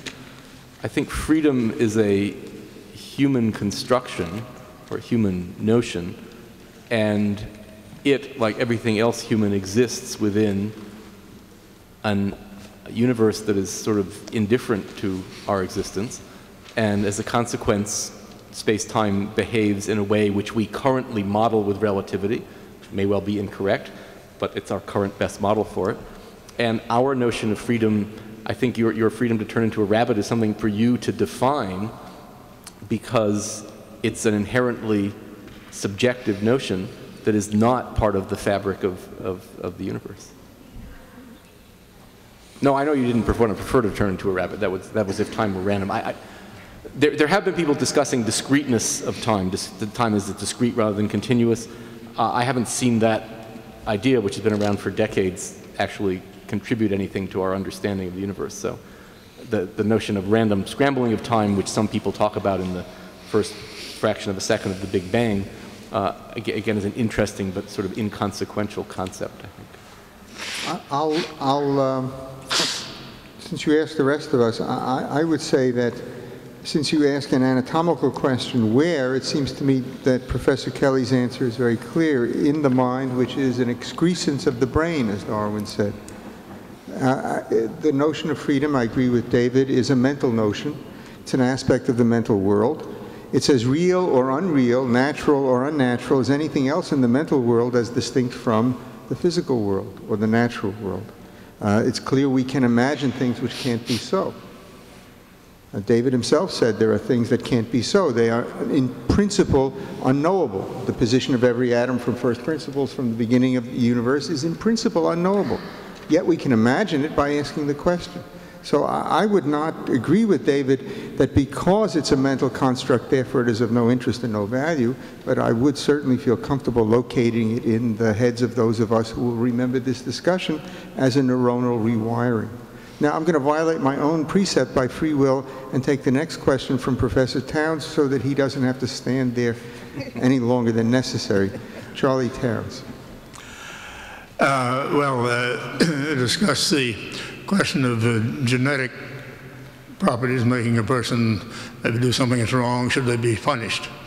Uh, it seems to me we have the same problem for a child who has been abused by parents then they probably have more tendency to do something wrong. Uh, does that mean they should be excused completely? Seems to me those are really quite parallel and the same problem. With, uh, so uh, uh, very hard, very hard to separate between the genetics and the upbringing in terms of what nature of the person is. Yeah, I actually think that's exactly right. And um, there, there is a, there's a literature out there now from some of our colleagues in, in neuroscience who are excitingly brandishing their fMRI scans and uh, saying, you know, we can now show where somebody is impaired in their decision making, uh, and that should be enough to excuse them from culpability or to diminish the punishment they receive uh, for their criminal acts. But I think they make the argument without recognizing that we've known about causal influences on criminal behavior for uh, decades, uh, in fact, uh, uh, longer. Uh, we know that if you grow up in a poor neighborhood with uh, a poor education and with few social supports and surrounded by social disorganization, uh, and uh, particularly if you're abused uh, as a child as well, you are likely to, you are more likely than someone who grew up in different circumstances to engage in criminal behavior. We have generally chosen uh, not to take that into account in uh, exculpation. Uh, and uh, our response so far to the genetic data and the neuroimaging data has largely been uh, along the same lines. Uh, the neuroscientists, some neuroscientists, are arguing for a kind of neuroscience exceptionalism, if you will, uh, that their data, their causal influence is different because it resides in the brain but of course, the effect of early childhood deprivation resides in the brain as well, and I think uh, uh, we have sometimes failed to see the correspondence between those two kinds of, of causal influences. Yeah. Uh, do you believe that neuroscience will uh, evolve in the near future to such extent that the predictive power of tools like fMRIs or genetic maps or the environmental influences will be so high that educational institutions like schools or employers will use that data uh, to decide whether to accept someone to a school like Hunter, for example, or whether to promote someone. Because the truth is that today schools and employers use psychological tools like Stanford Binet to decide whether to accept a child or not. So do you see a practical application of these types of tools in the future that they will give a better predictive uh, ability, if you will, to an education institution or employer to decide whether to accept or promote or, or, or fire someone? Well, there are two parts to that. One is that no one part of the brain will ever tell you anything about anybody's potential because the brain is a huge network of interconnected neurons each of which influence the other. So if I told you, uh, which is actually true, that people with very active prefrontal cortices tend to be very reserved and careful and circumspect, right? That doesn't actually mean that everybody with a very large prefrontal cortex is reserved and circumspect. Part of the problem here is that we don't have huge masses of normative data. We don't know what the normative variation is in anything. One good thing about the Caspi uh, study was that it was a prospective study. They made no assumptions at the beginning about the 426 uh, babies, young children that they were following, so they had normative data.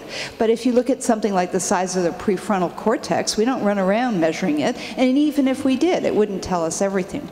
The other thing, which is really important, is that, you know, a certain level of smarts is required for some things, but as you and I both know, the will is all, right? You know that people, people have extraordinary potential, uh, but they may not want to do it. You could have the world's most lovely voice, but you don't want to be an opera singer. You want to be a scientist for some ungodly reason. So the, the, passions of life, which are, I think, very largely a result of your upbringing and your experience, often hold a much stronger sway over your ability to succeed in the complicated things that we do as human beings. So I don't think that we're going our kids are going to have to have brain scans to see if they get into Hunter Elementary School.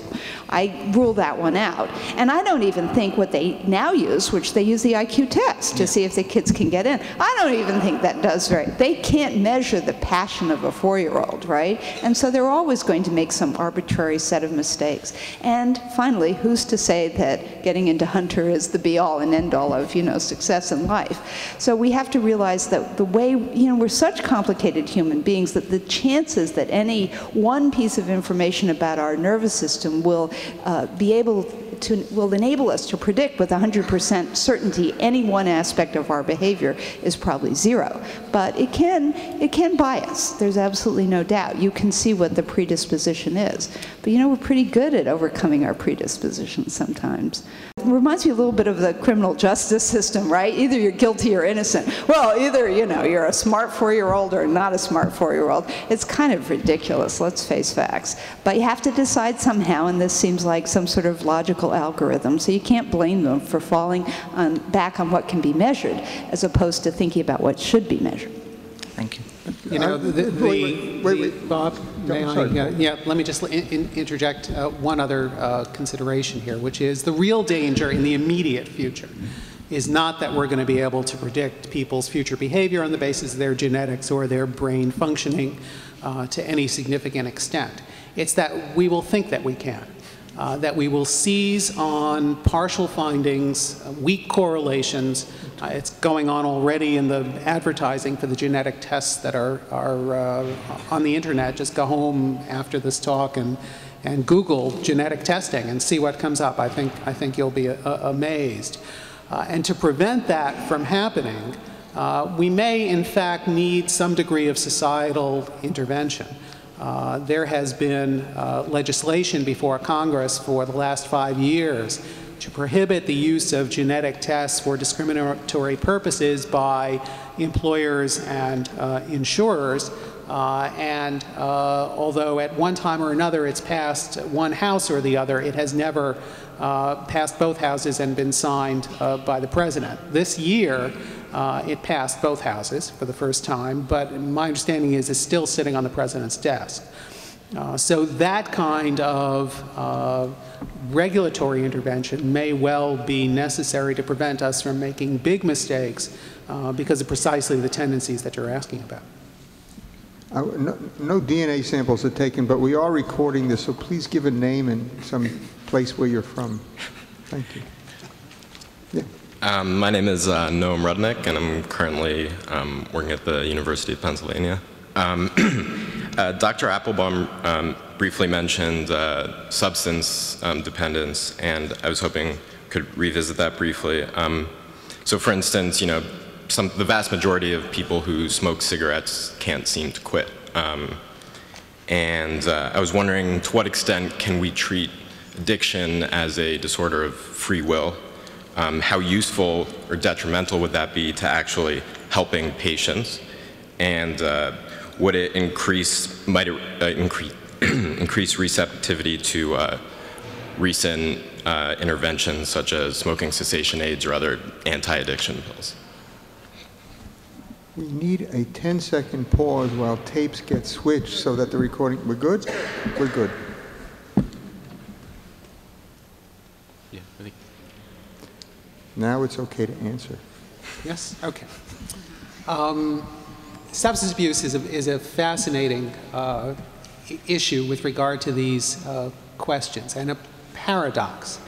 Uh, it has been recognized for many years, uh, even though we don't have the gene that we can point to, uh, that uh, predisposi- different people have different levels of predisposition to becoming addicted to substances on being exposed to those substances, whether it's nicotine uh, or uh, alcohol or uh, uh, opiates.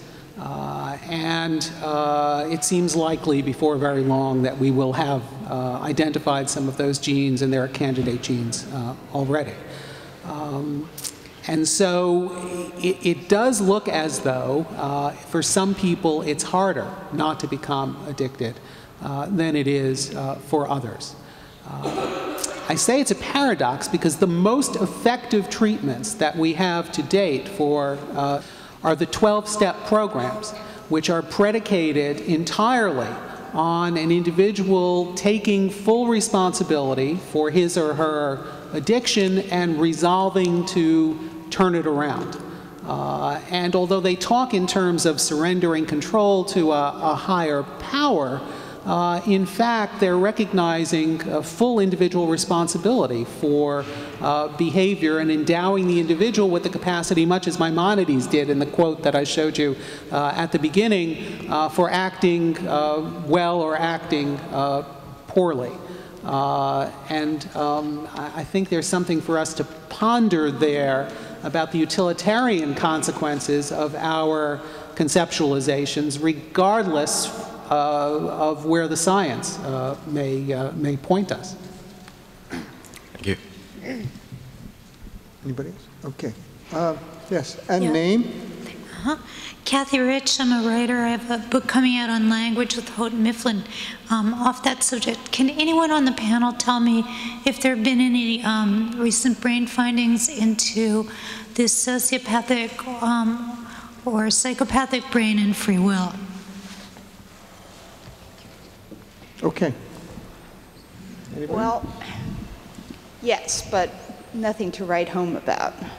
Uh, and partly because of this problem of not having a huge database. I mean, for all you know, so there is this finding that there's a correlation between the size, whatever that means, of the prefrontal area and uh, how can I say, abnormal impulse control, okay? And in its most severe form, that can lead to sociopathic bad behavior.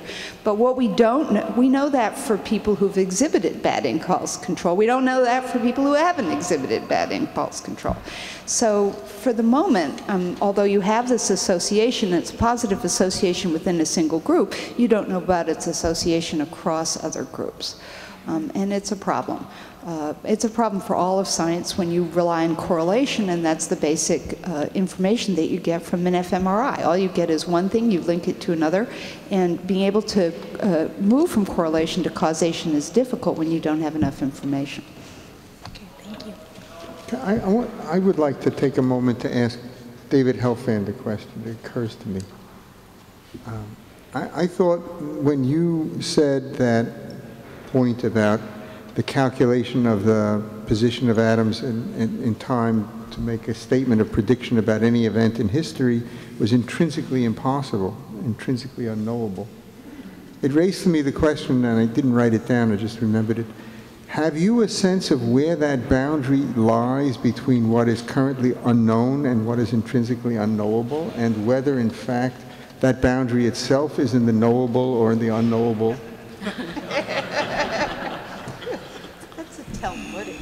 Yes, it is a Talmudic question. and this guy has a yellow on me. Um, Is that good or bad that it's a Talmudic question? Oh, it's good, I guess. Um, I, I, think it depends how simple a question you're trying to ask. I, I, I do think that within our current state of what we call understanding, which consists of having models with calculable predictions, you could we know the number of atoms in the universe. You could calculate the size of a computer you could make with such a number of atoms, and you could therefore infer what size problem you could tackle. But first of all, I'm not sure that our current method of model building and calculation is the ultimate method of model building and calculation. Uh, people have referred to emergent phenomena here. It, it tends to be synonymous with magic mostly, but in fact there are things that are emergent phenomena coming from large numbers of particles that we don't understand. Uh, and so, you know, it's conceivable we could either develop new, completely new notions of what a model is or completely new notions of what calculation is, in which case that would change those boundaries. So no, I don't think there's, I, I won't give you a number right now. Uh, my name is Paul Rao. I am a medical physicist, but now retired. I don't know much about either genetics or neuroscience, but lately I have been hearing quite a bit of discussion about top-down processes in the operation of life and nature in general.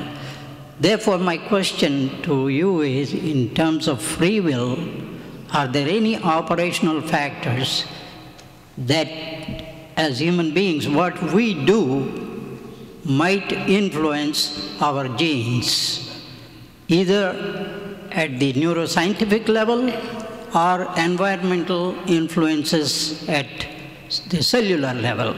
Do they influence our genes themselves?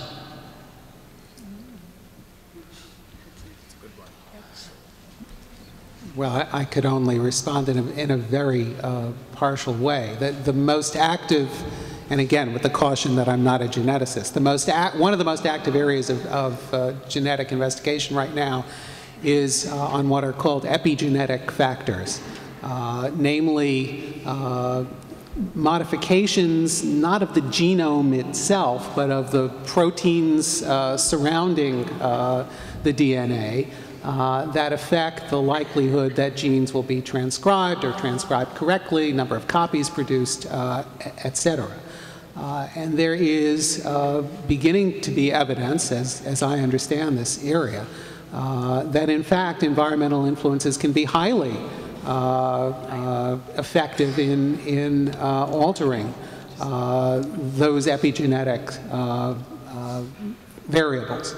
Um, that substance abuse, to take one example, may make future substance abuse more likely because of, of changes in the protein structure uh, uh, of the histones surrounding uh, the DNA, uh, as just one, uh, one example. So the answer is, is yes, there seems to be an environmental feedback that actually affects the transcription uh, process. So, but not at the genome level, but only at the protein level. That's what you're saying. Well, you know, you all, every cell in your body has the same genes, but a liver cell is very different from a brain cell. So at some point, the environment in which cells develop determine what you get out. And some genes are quiet and some genes are roaring away. And in some cases, influence from the outside can completely shut down a gene um, or completely turn it on in, an appropriate way. And this is true of your nervous system. You know, you're, when you're born or when your brain is being formed, it doesn't know what body it's going to find itself in. It learns about the body as it grows, right? From the very moment you have the first uh, activity in the brain, the brain is responding to its environment. It's always a two-way street. So, you know, we say you are your brain, but that doesn't mean that your brain doesn't change. When you walk out of this room, your brain's going to be different than when you walked into the room, and mine too. Thank you. Hi, my name is Joyce Schenkine. I'm a neuropsychologist, and it's a very quick question. It's just relating to the data that show re, uh, correlations in identical twins that are greater than uh, fraternal twins in reaction to stranger. I always wonder in those cases, what about the individual himself? Like, I myself, as gregarious as I might be, don't always respond the same way to strangers. So even if you compared me to myself, I'm not, I don't show 100% correlation. Yeah, and, and of course, there are other problems with twin studies as well relating to the environmental influences on identical twins and how they may differ from uh, those influences on, on fraternal twins. What the twin studies give us is uh, an inference. They give us a suspicion, a reason to believe that there may in fact be uh, genetic factors. We only know, in some sense, that there are uh, genetic factors playing a role here when we're able to follow up on those hints and uh, identify the actual uh, genes. That being said, those differences in correlations were pretty striking and uh, are, are, likely to represent real findings of, of uh, uh, the hereditability of, of, those, uh, of those behaviors. Yeah, I mean, like I would predict that if disappointment made a difference in how readily you looked at a stranger, my identical twin would react the same way as I would to the disappointing event, and we wouldn't look, let's say. Thank you. Yeah. My name is Leo Downs from Uptown Columbia campus, and I um, I like to raise que two questions. One have to do with the embryogenesis and the neurogenesis.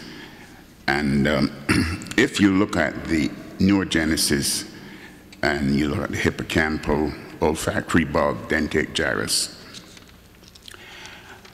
how, when you, how would you think about neuronal migration? Neuronal migration in case of, if it's speaking about free will, would it be possible to start from this level, from embryo, embryogenic and, and neurogenic position first, and then move into free will? Because if the neuronal migration, something should go around in the connecting to different areas, I'm trying to tease that out, so maybe you all could give me some help on that. Well, I, there are two things that, so the, the brain has a plan. It knows, every cell in the brain knows roughly where it is even at the point where they're dividing. And then they start to migrate or they send out those thin processes, right? But mm. while this is all occurring, they're also being influenced by every cell around them.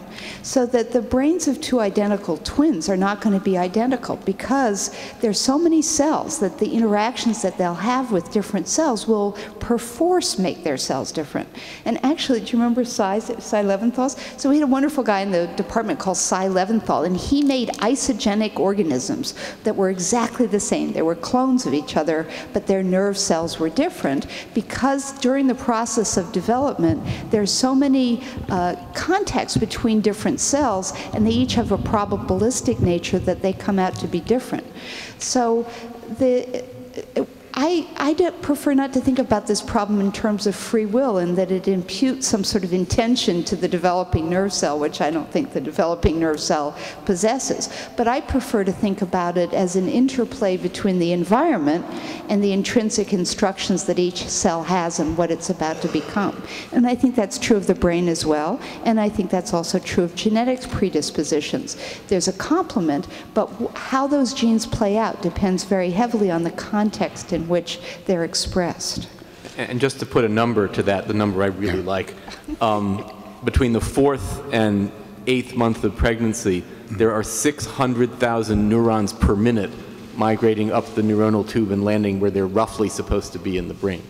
So I think imputing a plan to that would be very difficult. Thank you. Thank you. Yeah. Hi. I'm uh, Peter Steiner, and I'm a citizen of New York. I live about eight miles from Columbia. Um, this question is more in the context of the everyday, uh, or if you'd like, the, the court of the family and, and uh, relationships. And it, it has to do with what we might know now, or what you could tell us we know about free will and the somewhat common experience of being um, emotionally hijacked, let's say, by something someone says or does. And that behavior repeats itself over, over time. And it seems in that moment that we have no free will, or at least to me. And um, while it is possible to change behavior over time, uh, perhaps through the intervention of psychotherapy or other means, um, why is it that we continue to behave in ways that maybe aren't too healthy? And it seems as if we really can't help it. And I'm speaking generally, but perhaps for myself more specifically. Well, you know, I think my answer to that question will be similar to my answer to the question about substance abuse, uh, which is uh, to say that uh, uh we all tend to behave in habitual ways. Uh, in the case of substance abuse, for one reason relating to a, a set of reinforcers, exogenous reinforcers. Uh, in the sense of, in, in the case of responding to other people and, and situations around us, uh, in the same way, even when we've responded that way in the past and it's been unproductive or, or counterproductive uh, because of a, uh, uh, a set of triggers of behaviors we have learned and that have become uh, habitual uh, for us. but the paradox is the same as with substance abuse as well. if um, we understand that behavior as fully caused and therefore not susceptible to your uh, voluntary intervention, then you may as well not come to me for psychotherapy because uh, it, it's uh, not going to do any good. Uh, the premise of psychotherapy is, uh, in fact, by gaining, or at least some psychotherapies, by gaining insight into uh, what it is that triggers uh, your behavior uh, and recognizing that there are other ways to respond uh, in those situations, uh, we've now opened up a new set of options for you to consider and new paths for you to follow.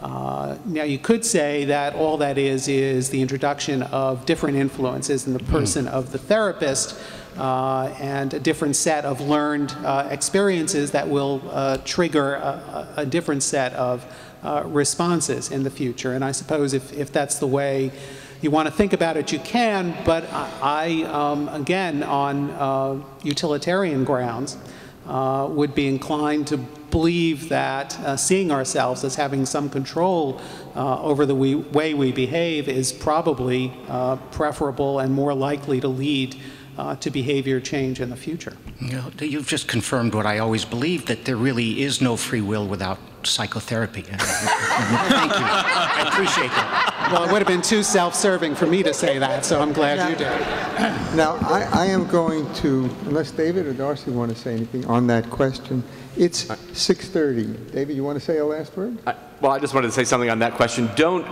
underestimate 135,000 years of evolution.